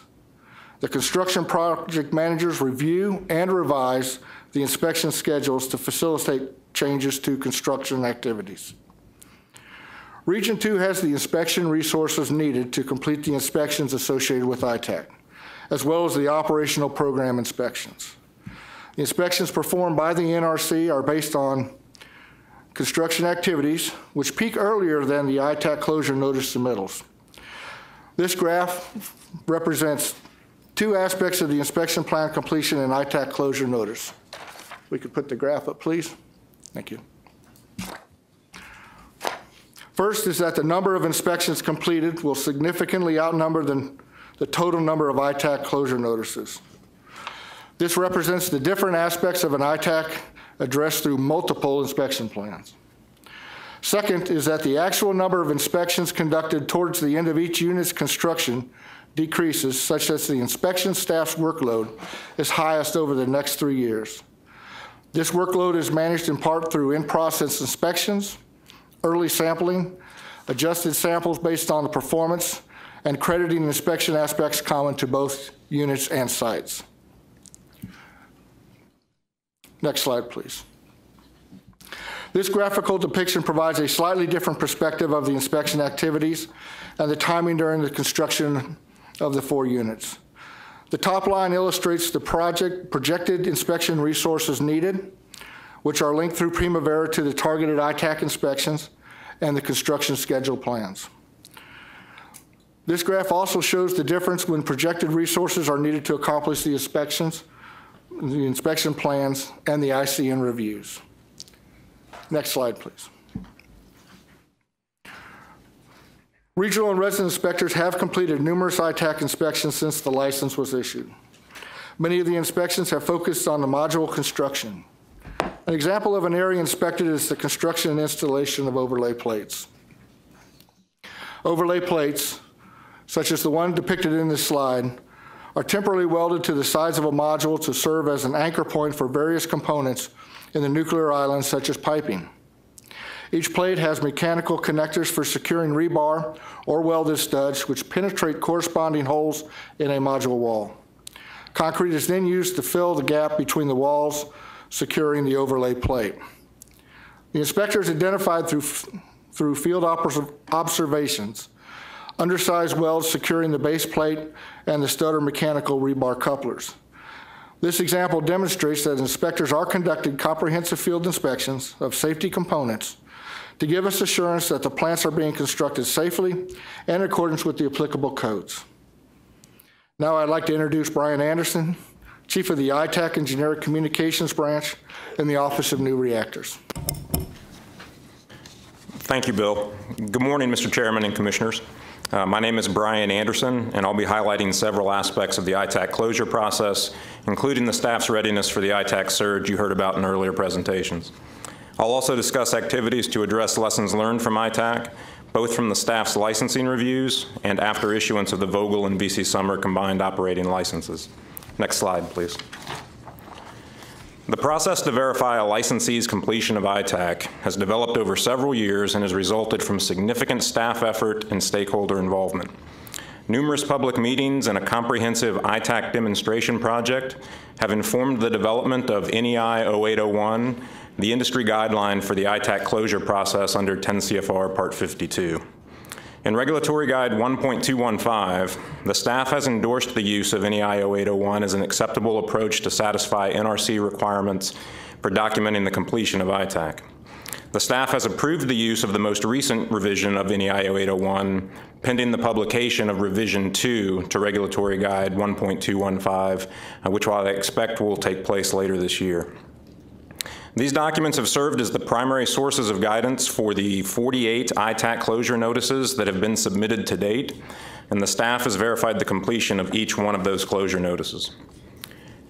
The NRC uses a disciplined and consistent process to verify that licensees have properly documented the completion of inspections, tests, and analyses, and that the acceptance criteria are met.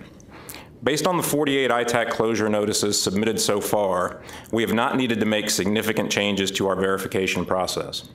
I'd like to emphasize that this verification is neither a technical review nor an inspection. Technical reviews for ITAAC are completed as part of NRC review activities for design certification, the issuance of a combined operating license, or for license amendment requests for design changes during construction.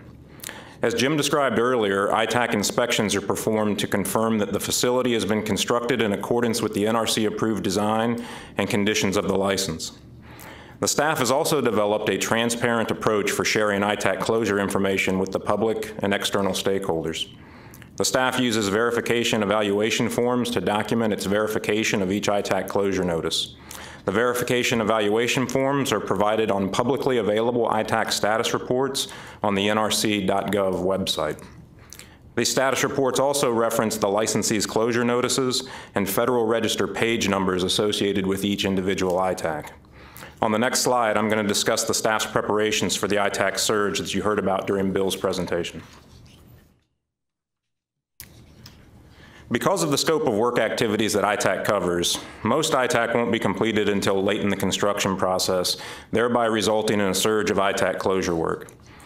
The staff will verify 100% of ITAAC closure notices, so our workload will generally follow the shape of the ITAAC surge. The NRC is ready for the ITAAC surge and has sufficient staff and technology resources to complete our ITAAC closure verification activities in a timely manner. We've implemented the verification of ITAAC closure evaluation and status, known to us as VOICES, and I do recognize that we've cleverly inserted an acronym inside of an acronym there, uh, to efficiently manage the workflow for verifying each ITAAC closure notice.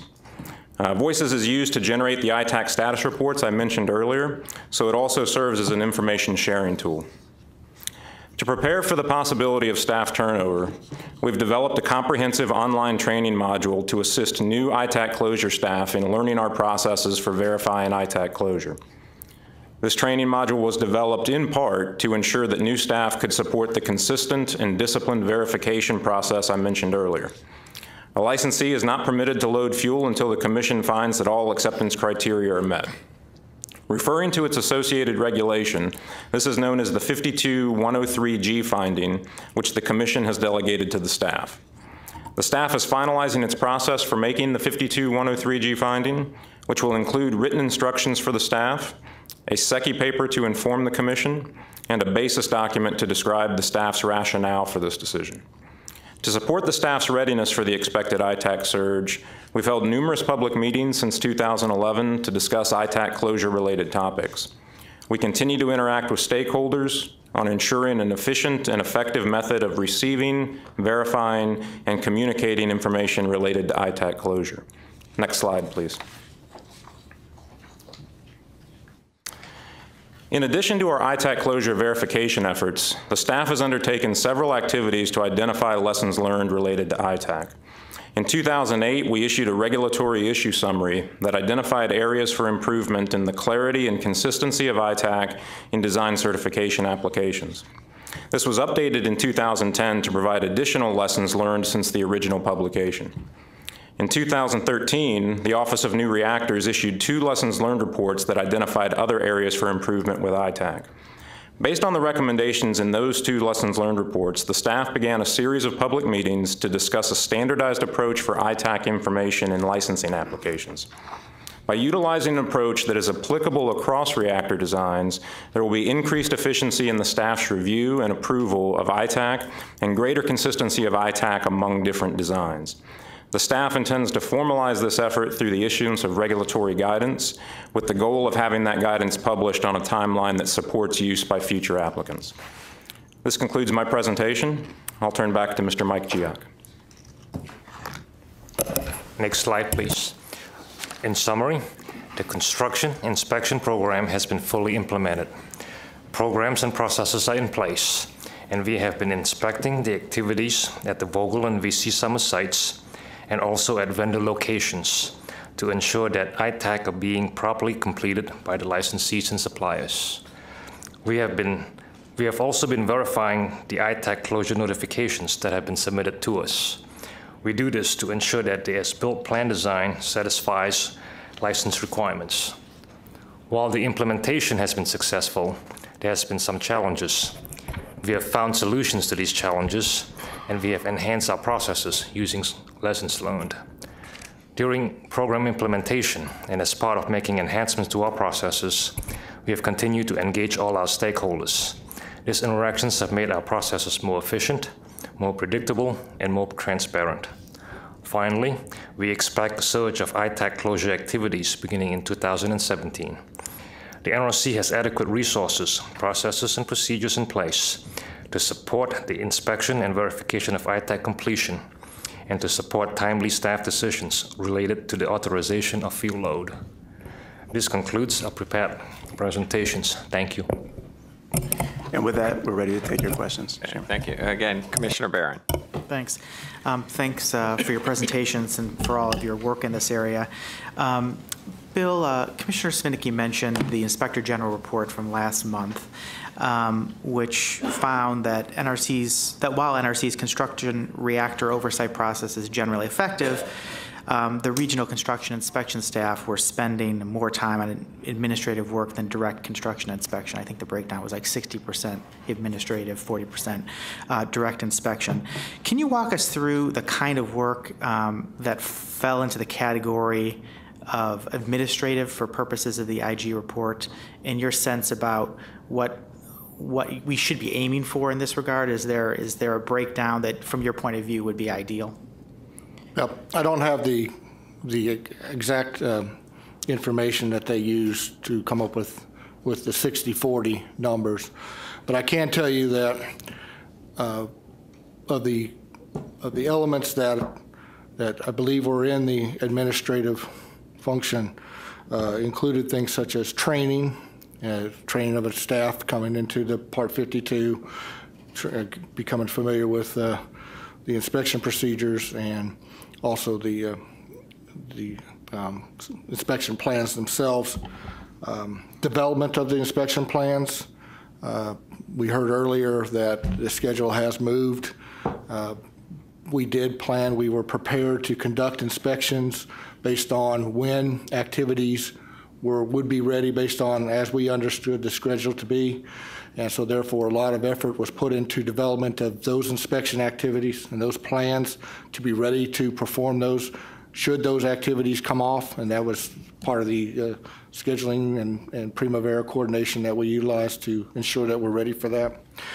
And then, and then also it's just the, um, the scheduling attributes of how we go about getting the schedule information verifying that the activities are going to go off as expected, and then also to ensure that that the inspectors are, are there. And so that involved previously uh, involvement by branch chiefs, by scheduling individuals, and also on, on uh, occasion, uh, involvement by the uh, inspectors themselves. And I'd like to point out that from the inspection planning, um, the development of inspection plans, and the scheduling activities, that those were both activities that were reviewed under the process review team. And I, I would just like to, to state that uh, I'm, I'm very proud of the work that, that that process review team did and, and of the individuals behind me, Patrick and Bo Steve, uh, and their participation in that. This was a, they were tasked with looking for efficiencies and effectiveness and how we go about conducting uh, our planning, scheduling, and its implementation, and, and, and how we feed that information back after an inspection into our process to make sure that we learn that our inspection plans are updated and that, that we do truly become more effective. And that team took that task on in, in started in January. And in March, I had an implementation plan uh, and was able to actually begin implementing that. So those were those were activities that that we had in place. The inspector general did not get an opportunity to see that, but those are those are things that we did have have in place and, and we're working forward. Uh, so I, I wouldn't want to break it down into a percentage.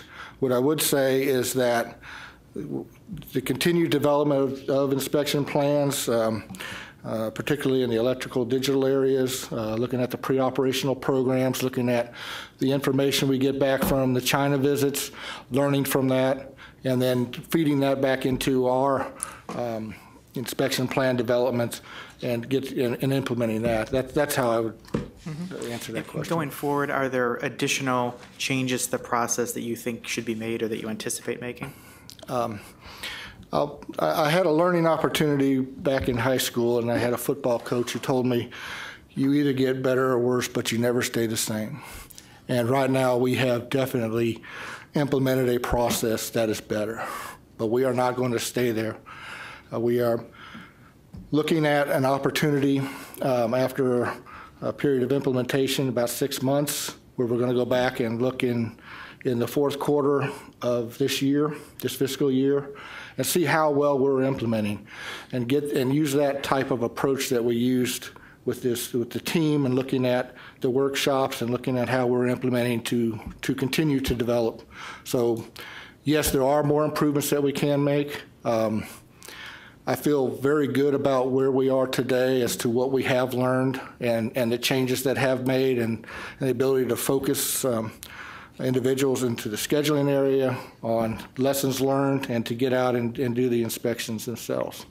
Thanks. Um, Brian and Bill, uh, you know, there's been a lot of talk about the, the bow wave or the surge or whatever we're calling it, um, the tremendous amount of work that's going to have to happen in those last few months um, of construction. Um, and I know that there's been an effort um, on the agency's part, on your part, to make sure that our role in this on the inspection side that's kind of smoothed out over time. Can you talk a little bit more about that um, so that we all have a clear understanding, or I have a clear understanding of how, how, are we managing that so that it isn't really a surge at the end, but instead that work's getting accomplished in a kind of more, I don't know, hump kind of a way over time, and we don't have, uh, you know, just a, a, a huge amount to do right at the end. If, if, I'll start off with the inspection because that, that actually feeds into to the work that he does. We, we've identified for each of the for each of the targeted ITAAC and, and identified the inspection plans and developed those. What we're looking to do is to touch on as many of the targeted ITAAC inspections that we can perform. So in other words, we're not waiting for, if, if we've got five inspection plans associated with the targeted ITAAC, Two of them can be performed within the next three months. Those are the ones that we want to make sure that we do perform so that we don't get two years down the road and have five activities we need to perform. Instead, we're down to two or three. So those are those are the um, the type of activities we're looking forward on. Also, we're looking at when we have inspectors out, how can we bundle activities to take advantage of their presence on site with their skills and be able to look at opportunities to um, to conduct those inspectors. And that was the, the example I used uh, somewhat during the, during the discussion was looking at this, the, the pool welding activities as well as the, uh, the mechanical ITAAC on the containment. Uh, So the schedulers are, are looking for those opportunities to, to go out and, and to make the most efficient use of the inspectors while they're on site based on the input from the schedule and then utilizing those um, insights into making sure our inspectors are there when they need to be there. And, and uh, when you look at the inspection activities, um, we get through the civil, we get through a lot of the mechanical.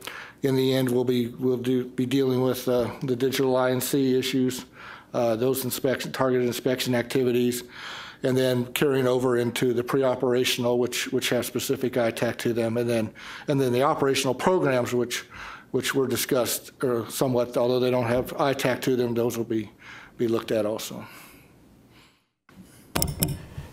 And so from an ITAAC closure verification perspective, uh, I'll, I'll start by saying that I'm confident in the staff's ability to verify ITAAC closure, even with the shape of that, that surge toward, towards the end. I think that's a, that's a function of how and when ITAAC-related work gets completed during construction. Uh, so to a, to a certain extent, that shape of, of work, the ITAAC closure notices coming in, peaking late, uh, is, is inherent to the the, Part 52 process. Um, but having said that, I believe that we've got the right tools, processes, and people in place. Uh, you heard during early presentations, I mentioned it also in mine, the development of uh, the NEI 08-01 guidance document uh, has, has not only taken place over many years and many public meeting discussions, but has brought a lot of structure, discipline, and kind of a standardized approach for, for ITAAC closure. That's been a key part of what we've built into our process today. So you think with the guidance, we, at this point, we have a good shared understanding with the licensees about what's expected for, for ITAAC submittals and what's going to be adequate? A- Absolutely. I'll, I'll, I'll admit it took a long time, I, I think, to get there. Um, but uh, we, we've definitely, that's been an, an effort, a long-term effort that's been well worth the, uh, the input and participation. I think there's full uh, mutual understanding of the level of detail that's required for ITAAC closure notices. And, and this is a little bit of an in-the-weeds question, but you know, just thinking about the big picture, you know, we're going to have all these ITAAC closure notices, kind of in the same period of time, there's going to be the run-up to the ITAAC hearings for two different sites potentially.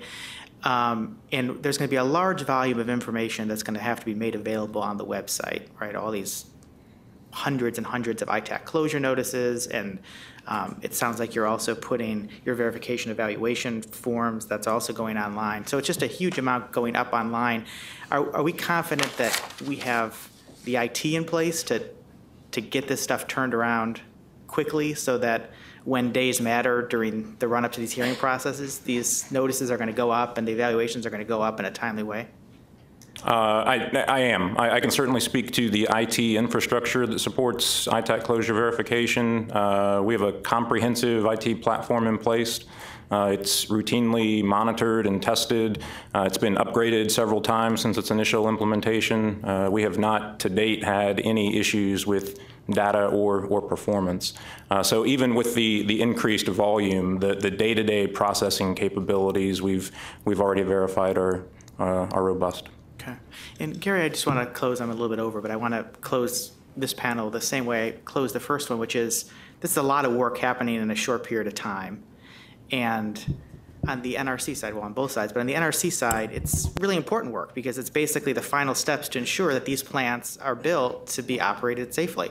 And so how, how as an agency, how as a leadership team, um, do we make sure that the staff understands that although the schedules are important, the number one priority has got to be safety? Good. Thank you. Thank, I always enjoy safety questions. Um, you know, I think the staff is very well prepared and want to do a quality safety review all the time. They just need to see that their management is fully supportive. So safety culture starts at the top. It's a st standard uh, definition.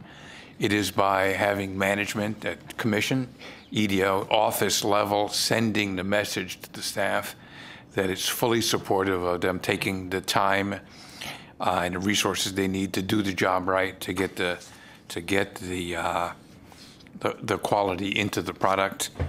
I think we, for example, in NRO, have taken to naming things in such a way that that message should be clear to the staff. Um, so, for example, the highest priority items we expect to close this year are, on a safe closure list. It's important to get them done, but you've got to do them safely. On the top of that list is license amendments, those, all the activities that support uh, continued uh, construction activities at Vogtle and Summer. But they're on a safe closure list.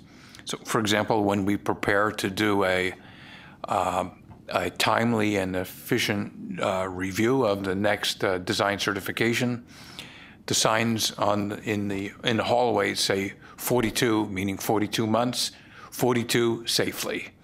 So I think it's it's management's responsibility to send a message to the staff that we know they want to do a good job, and we're we're supportive of the quality and safety reviews that they have in mind. So so I'm I'm optimistic. I think it will be done well. I appreciate that. Thank you. Oh, thanks again for your presentations. Uh, I'll start off with a uh, similar or the same question I asked the, the prior panel, then maybe get to more specifics. As we look at, as I said, and, and, and Mike acknowledged as well, as we're implementing this process conceived of a generation ago, really, um, eh, is there something that surprises you about the ITAAC process at, at this point? Or perhaps some of those price- surprises work themselves out during the initial, initial licensing phase of the COL phase. But as you, as you look at it now, the things that surprise you or say, perhaps we're spending time in terms of ITAAC uh, that might be better spent on other aspects of the safe operation or safe construction of this plant, of these plants. I'm going to offer, and then Jim will tell me whether I get it right or not. Okay. It seems to me that ITAAC has an essential role in the in the one-step licensing process. It is the verification. It what allows you to make the decision about about safe construction and safe operation early in the process. Um, I think the uh, the nature of ITAAC is something that we were figuring out early on, long before the actual construction took place. Um, so I think you see now we have uh, exercises on stand, developing standardized ITAAC uh, to figure out what is really necessary. I think the idea of tier one, tier two, tier two star, exactly how important, how risk significant are each ITAAC, what's their role. I think that will probably be um, better informed by the fact that we've gone through the construction the first time. And I think that uh, we've done it in a, in, I would say, a conservative, cautious way the first time. It could probably be done in a, in, with better risk and safety insights with informed by the actual construction activities. I think so we, we can make improvements as you go through that process. The other thing that I, that I think is surprising to me is how many ITAAC would be uncompleted at the, at the 225 day stage. And that would therefore have to be very clearly and definitively uh, uh, planned out so that decisions about their, uh, their acceptability of implementing those plans could be, could be taken forward. But the fact that there will be a larger number than at least I, I envisioned is, is something new and that we'll be prepared for and that we'll have to, it's not just in the last few days, it is to be prepared now and working up process and procedurally to make sure that that end game does go uh, according to plan. So. And, and in terms of the uncompleted, um, and I think some have touched on this and it just may not have sunk in with me, but when you look at the uncompleted, sort of rough, perhaps rough percentages, what do they relate to it, it, it, in terms of what I say, construction completion, operation testing, and then of course, as I've been reminded here, ITAAC also go to things like, op, you know, what you do during operations, uh, uh, things that are really post post construction, post, well, basically being in the operational phase. So uh, can you g- give me a percentage of what that goes to in terms of the incomplete? Just You mean sort of percentage of how many ITAAC? how how much it has to deal with completion of construction? Okay, How much sure. has to deal with like, in in effect, what I'll call pre-op testing? I realize that can be considered part of the ops Sure. phase. And then how much is really about those programs that you need for operations, you know? I know we have, because we have in statute, we must have emergency planning ITAAC, whether that makes uh, all, is that, whether that's the best way of doing it or not, doesn't really matter because we have a statutory requirement for it. So the, the emergency planning ITAAC are really the only ITAAC that are programmatically focused. And they, what they really are is a requirement to run EP exercises. All the other, there's 19 operational programs that are committed to in the license, and all of those have programmatic inspections that are non-ITAAC. They were, they were physically separated from ITAAC well early in the process. So I, I think that pre-operational test program is something that is heavily loaded into that later steps, the later steps of the ITAAC. The other piece of it is when you break down an ITAAC, to take a, uh, one of the big mechanical systems, we're going to do lots of inspection of, of elements of that system, but they still have to do a walk down at the end. And they still have to do systematic testing, system level testing. And that has to be completed before the ITAAC can be closed. So we may have a significant amount of inspection activity on that ITAAC before they get to the end, and we'll audit and we'll go on those walk downs with them. But at that point, we have a high assurance, based on all the inspection activity we've done, that they built the system appropriately. So th- that's where we feel that although th- that there's a lot of activity at the end, we will have pretty good knowledge base on those systems before we walk into it. So I, I'm trying to give you a little bit of assurance that we, we're looking forward at it and, and understanding what we have to get to before we get there. The other thing, that, to answer your initial question, when we, when we plan the program, we, we looked at ITAAC as just a characterization of the construction process. So they're going to build the plant the same, whether it was Part 50 or Part 52. ITAAC just characterized some elements of that construction. And so, eh, you know, we had people from the, the previous phase of construction involved in our planning process, helping us, uh, helping us write the procedures. And so the ITAAC, all, all we did was we used the ITAAC to focus the procedures in certain areas. So from a from a differences surprises point of view, I think that ITAAC is just a way of breaking down construction, and, and we're using that to help us focus. But we're doing lots of inspection beyond ITAAC. So the ITAAC are the, the targeted ITAAC are required for inspection, but that doesn't mean that's all we're inspecting. The, the resident inspectors are inspecting what goes on on a day-to-day basis, and they they understand what ITAAC are associated with those activities, but they're continuing to inspect to make sure there's quality construction. Okay, thanks, and thanks actually for reminding me, uh, because that was a debate some years ago about whether operational programs should be within the scope of ITAAC, and but for my one example uh, that we were gifted with, um, Chairman- uh, you, you reminded me that operational programs aren't. So thanks for that. Yeah. I'm sorry, I- and I just wanted to give a, a, another perspective on the question that's been well answered about surprises. Um, and and I'll just note that Gary's been here, probably associated with the reactors longer than anybody. I think I joined, and then and then folks probably at the rest of the, the rest of the folks at the table joined after me. I don't I didn't find big surprises, but but but there have been, I, I think, a lot of little learnings. Um, when we were first crafting ITAAC, for example, we were doing that in the context of uh, the, the licensing folks and the licensing environment. And someone said, well, gee, what happens if you get an inspector along looking at an ITAAC as we're formulating those? What would that do with the ITAAC? And we said, holy crap, some of these ITAAC aren't going to be all that inspectable. And so that little learning enabled us to change the way in which we developed ITAAC. That's an example. Um, we knew we needed templates for ITAAC closure. We knew uh, the concept of ITAAC closure. We knew that templates would help. We began crafting those. We refine those based on that little learning. And I think one of the things that, that these guys maybe have been a little bit modest about um, has been the success of the staff in taking these little learnings, improving the program or our processes to avoid these big surprises. Thanks for that, Mike. Uh, One of the things, actually, somewhat you, uh, a couple of you touched on, sort of re- uh, reminded me uh, of one of the uh, uh, sort of initiatives or objectives coming uh, in, uh, coming out of Project AIM, which the commission has endorsed, and that is, this is in terms of this flexibility, uh, in terms of redirecting resources where you need particular expertise in certain areas. Um, and, and one of these, this is, uh, I, at a number of meetings, I've heard the reverse of having sort of NRO reviewers looking at things in the context of operating reactors.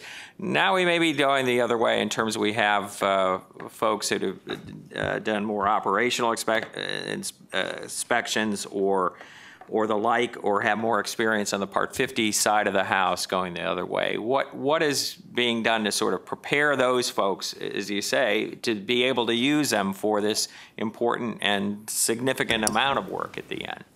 So let me just start at a high level, and then, and then Jim will help. I, I was uh, a party to a meeting that was really uh, initiated by Glenn Tracy, director, and Vic McCree, director, regional administrator, to talk about how do we how do we make a, a seamless handoff, for example, from op, from construction, uh, post construction to operations oversight?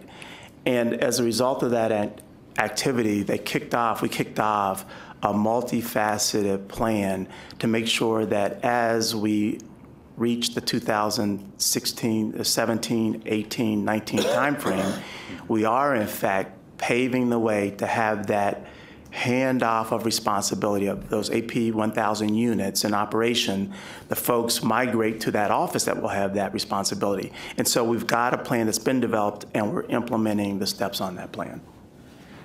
So I think the best way to answer your question is to use an example. Uh, a number of years ago, the Center of Expertise for Electrical Engineering was moved to NRR. So NRO does not have any electrical engineering folks anymore.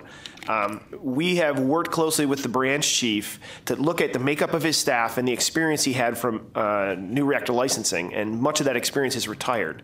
So we're planning a series of meetings where we're going to bring the entire electrical branch down in two or three different groups to one of the licensee sites, and we've coordinated with the licensees on this, give them tours of the site so they understand what AP 1000 looks like, what the construction site looks like, so they could engage with the licensee engineers prior to the electrical uh, construction work getting going, so that as electrical questions come from the inspectors, we have a staff that understands AP 1000, is familiar with it, and knows the right people to call. So that, that's one example of what we're trying to do to be forward thinking and look at things like that. Uh, centers of expertise, I think, are probably the, the focus area where we'll be addressing these. And, and that has really nothing to do with the what happens with the sides of the the new reactor workload. That has we always knew there would be a time when we need to hand off oversight.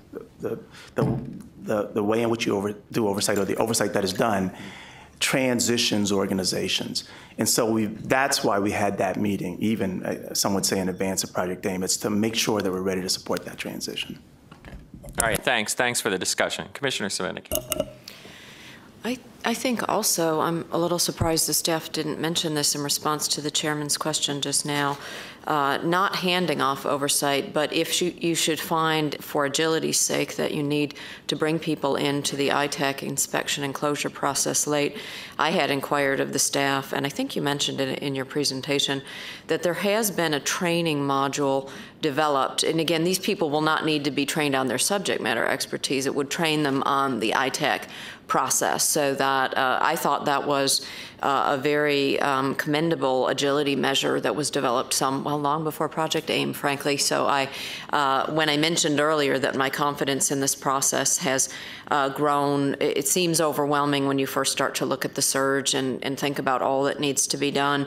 But I think we see it, uh, NRC staff stepping up very competently right now at Watts Bar 2, and I think this will uh, likely be no different than that. It does have some uniqueness with this ITAAC process, but at bottom, it, it really is the same kind of demonstration or showing and then building the record, which is of its nature an administrative type of activity. I I don't know if any of my colleagues have ever been on an inspection team. I have in quality assurance, and you do feel like a good large component of being an inspector is the documentation of what you did without that.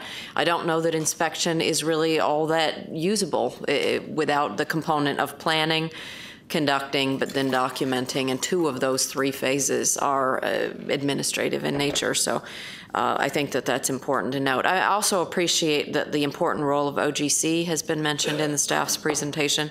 As Commissioner Baran notes, there is an important opportunity for hearing uh, that presents itself through the ITAAC process. OGC has been working closely with the region and the Office of New Reactors to make sure that everything having to do with that process is in place. So I appreciate that mention's been made of that. A lot of questions have been asked of the nature, uh, you know, if all of us, each of us could nominate one thing to be relooked at, if there was going to be another wave of uh, new reactor construction in the United States. Gary, you hit on the one thing that I think for me would come to mind, and it is the uncompleted uh, ITAAC notices in the 225 days. For me, any regulatory requirement that takes the form of X number of days before this trigger, report to me on the status of all undone work. If at that moment in time more than half of it's not done, it would be my instinct to go back and say, well, maybe I want to get that a little bit later in the process when more of it, because if, if you ask for the status on something and if at that point in time, so many things will have to be statused, I, I do think it, it kind of recommends itself to say, is that just then an overwhelming amount of information that has to be provided? But um, something that's helpful, of course, is all the development that the staff has done of, of templates, and uh, we know uh, at least the form and the content of a lot of these uh, notices that we'll get. Nobody began by discussing what an ITAAC was, and, and earlier I talked about this being an important uh, discussion today merely because we are shining a spotlight on a complex agency process. But I think worth, worth mentioning, and if I don't get the terminology right, I'll ask Mike or someone to step in, but ITAAC don't take the form of hey, this component is significant. They take the form of this component will be demonstrated to operate within this range. And it, there's a lot of specificity there. Could one of you speak to that? This is not something, it's not like in addition to all of the activity, at the end, we're going to have to be making a lot of threshold judgment about what success looks like. So could someone speak to that at a high level? Gary, maybe you want to start. I think maybe, maybe the, the way I think of it is ITAAC is not just something done at the end of the process. It's an integral part of the process. and clearly defining what needs to be done in building the plant at the early stages um, and being quite clear about what the expectations are. It seems to me the more we think of ITAAC as separate from and occurring after all the, the inspections and everything else is done, is that's probably wrong you need to think of ITAAC as integral to both the licensing, the inspection, oversight, and the whole process. So, so yeah, ITAAC so much, much is established already. Right. So at least yeah. at least that much. Now that doesn't mean that life isn't going to be interesting because even though you've said that component X will demonstrate, you know, it will run for X amount of time and demonstrate performance in this range. If you get enough technical people together, and I'm I'm subject to this myself, I might question whether or not what I actually observed did that or not. So that's why, again, it's it's not as if this is, is merely a box checking exercise. I'm sure there'll be lots of technical complexity uh, at the end, as our inspectors uh, well know and encounter routinely again. But so that's not a new circumstance for us. The chairman mentioned um, Project AIM, and it's interesting to me. I don't mean to keep returning to the um, Inspector General report but something that I read in there really struck me. I asked the previous panel about roles and responsibilities and how we had organized ourselves to conduct uh, construction oversight. And uh, one observation in the IG report just stands in isolation. It is as follows One experienced senior manager opined that if it could be done over again, all construction inspectors should be located at the construction sites, and they would not have hired any regional inspectors. Now, the difficulty in any observation when it stands in isolation is I don't know the context of the engagement that resulted in that. I have certainly questioned, uh, you know, we designed this uh, for a system that might have had us dispatching regional inspectors to construction all around the country and not at two relatively near sites to Region 2. So under that paradigm, I think you would want to have a really strong core of regional inspectors. Uh, that isn't where we find ourselves today, but as I've inquired when I go to Vogtle in summer, you know, you're met by an NRC team there. A number of them are just there temporarily. They've been dispatched to be on the site for a period of time. Of course, uh, most of us know, we know who our construction resident inspectors are there if we visit multiple times. But I ask about it. I'm like, are you being sent up here, you know, like Monday, Wednesday, Friday, and it's not rational? And, you know, how long are you coming and staying? Uh, is it needlessly kind of logistically complicated? And I have a sense that it's working well. So this one experienced senior manager's observation strikes me as something I, I didn't think was an issue. Would anyone like to kind of react to how complementing the resident inspectors with the regional inspectors, how is that going in your, in your mind? I take that one. Um, What we, where we're at right now is we have a complement of resident inspectors at each of the two sites. I'm currently at a full complement at each site. In addition, I have a diverse group of disciplines uh, at each of the sites, including civil, mechanical, and electrical.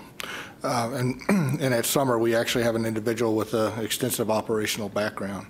And these individuals communicate with each other extensively so that, so that issues that, and inspections that are being conducted at one site are being reviewed and, and, and discussed at the other site.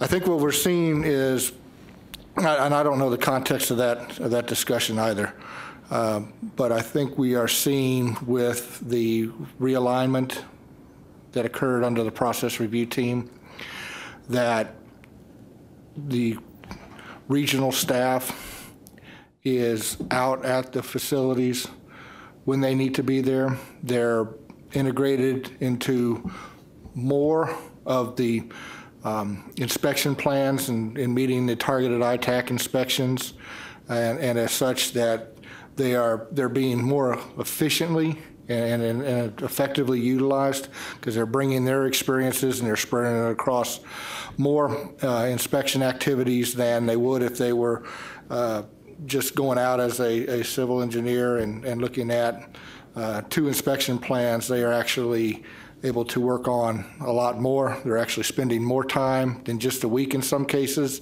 depending upon the work in front of them, uh, conducting those activities. So Well, and that was another strong found, foundation, was it not, in having a com- complementing resident inspectors with regional inspectors is, is in the response you just gave, and also the chart that Commissioner Ostendorf was holding up that gives the, the different uh, nature of the, of the ITAAC, is that right now, and perhaps, you know, in the coming months, maybe migrating a bit, but we've been heavy civil and structural. And so the point in dispatching people from a regional office is that you're going to have an evolution over time of the nature of the ITAAC and the inspection that's being done. Therefore, you want to bring in, you don't want to have a bunch of structural folks at both of these sites permanently, and after that work is long over, you know, what, what are they to be doing? They should be off contributing to other agency mission, and you should bring in the relevant expertise. So, um, again, I think that that was part of the understanding there. And so uh, to the second part of the question,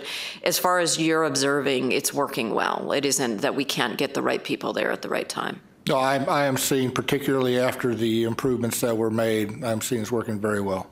Okay, thank you. Thank you, Chairman. Thank you, Commissioner. Commissioner Ostendorf. Thank you all for being here today, and uh, I'm going to revisit a couple of the points that my colleagues have already uh, addressed, because I think there's a couple of pieces worth emphasizing. Uh, Bill, I'm going to start out with you. I appreciated your comment uh, in response to the IG's report about the relative time spent on inspection versus administrative support, and I think the IG serves a very important role. Uh, it's important to address their findings, observations. At the same time, and it was discussed in the first panel, the reality of construction projects does it lend itself to a, a linear uh, approach day to day. And uh, I know that going back to my experience 28 years ago on a submarine that had three months before expected criticality had a 15 month delay because of misalignment of the main condensers with the propulsion turbine complex it required ripping out the ship service turbine generators, turbines, main condensers, condensate pumps, feed pumps, you name it, it ripped out. And then we found ourselves, rather than three months away from criticality, at least 15 to 16 months, then what do you do? You train people, you keep them productively employed. And so I think the realities of the construction delays at Summer and uh, in Vogtle, it's just a fact of life. And so I uh, appreciated your comment, which I thought was, I wrote it down, was that your inspection hours expended were consistent with the licensee's ongoing construction activities. And I, I think the reality of construction is, just as you noted, that you've inspected those things and needed to be inspected. So I appreciate you making that point. And it's not a criticism of the IG report. It's just there's there's two sides to everything. And since this is a public meeting, I appreciate other commissioners talking about the IG report to provide the public, a, you know, a fulsome perspective of that issue that was raised by the IG. Bill, on your slide 11, you also mentioned, I think, as I understood it, I want to make sure that I didn't misinterpret your comment, that there have been some challenges in using Primavera for scheduling. Did, did I correctly understand your comment there? I think that. You did. Okay. Is there a proposed fix or any projected fix underway or being considered to help make that a more useful tool? We are, the, the tool itself is is effective. Um, it, it provides for the ability to link the, the schedule with our inspection activities and inspection plans that we have developed. The challenge has been in, in getting the, the latest up-to-date inform, construction information and particularly looking out several months for some of the, for, for the planning itself um, and being able to incorporate that efficiently into the Primavera. Right now, it is a uh, it's a very labor-intensive effort to take the scheduling information that we get from the licensees and to put it into Primavera so that we can then align our inspection activity and resources um, with what the what the inspection schedule is.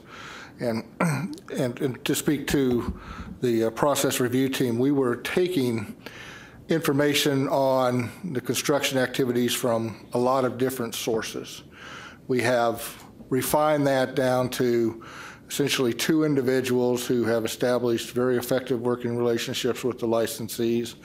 And although the, the, the means in which we're getting a lot of the information is, is we're getting the schedule, hard copy, PDF, and we have to input that in or um, or look to, if we do get an electronic, if it's not the most current, we could actually end up um, um, causing problems as far as the scheduling if something has shifted. So those are some of the challenges. But I think for, for what is in front of us, for, for the, our ability right now to get the information the way that we are, I think that we have established um, uh, single points of communications, individuals with knowledge of how to work the system, and, and are pretty much working it as best of our abilities right now with, with our interface with the licensees. I want to uh, just make an observation that's consistent with what Commissioner Svinicki addressed about the balance between on-site and regional inspectors, because I think that's a very important point. I would say my experience uh, from time in submarines, uh, seeing analogous processes at work between ship's force, shipyard, intermediate maintenance activity personnel, naval reactors, et cetera. I think my observations, I'm looking at Pat and Steve back there in the back row next to Laura, I think that the, uh, my gut feel is that your system today is working very well and that you've achieved a good balance. And I think you are flexible and agile and taking the right talent to bring to bear on site when needed. And um, so I just, this is my two cents worth, but I'd, I'd say that uh, watching this now for three and a half years, whatever, since the licenses were issued for Vogtle and Summer, that uh, I think y'all have done a good job in adapting your staffing on site in response to the realities of where the projects are. So I, my hat's off to you for that. Well, sir, I thank you on part of Region 2 and the, the construction staff, including the two behind me, on that comment. Thank you. I would also comment that uh, earlier uh, other commissioners discussed the uncompleted items 225 days out, and I think Gary had raised that, and I appreciate the earlier dialogue. Uh, reality is what it is. And um, I can remember many a Sunday afternoon before Monday underway as engineer or commanding officer of a submarine going down to the boat and closing out quality assurance packages. Is it ideal? No. Is it reality? Yes. You look at a U.S. nuclear aircraft carrier, when they finish an overhaul period that's maybe two years in a shipyard, and I guarantee you the activity level uh, prior to, in, in the 30 days, uh, in, in, seven days and three days before their initial underway after a two year shutdown in a shipyard, it is a very, very busy time period. It's not rocket science. It doesn't require multivariable calculus to figure out how to do it. What it requires is hard work and attention to detail. I think you're going to see nothing other than that with respect to the, you know, the quote bow wave, whatever you call it, uh, for ITAAC closure for the Vogtle and Summer project. So I think we just need to be, you know, this is a marathon, it's not a sprint. It's not something that ought to be the source of great anxiety or any, you know, um, philosophical uh, struggling to figure out how you can deal with it. It's just going to be hard work and attention to detail by the licensee as well as by the staff. Uh, I don't think we're going to make it more than that. So I'll stop there. Thank you. Thank you. Anything else from my fellow commissioners? Well, again, I want to thank the staff for its presentations and as well as our the two panelists from uh, from uh, Southern and SCANA for the uh, dialogue today on on ITAAC. I think it's uh, been very interesting, very useful for us to bring uh, bring us back up to date. And uh, I know as we, we mentioned this acronym, something perhaps we can nominate for the Oxford English Dictionary next year as a new entry. So with that, we are adjourned.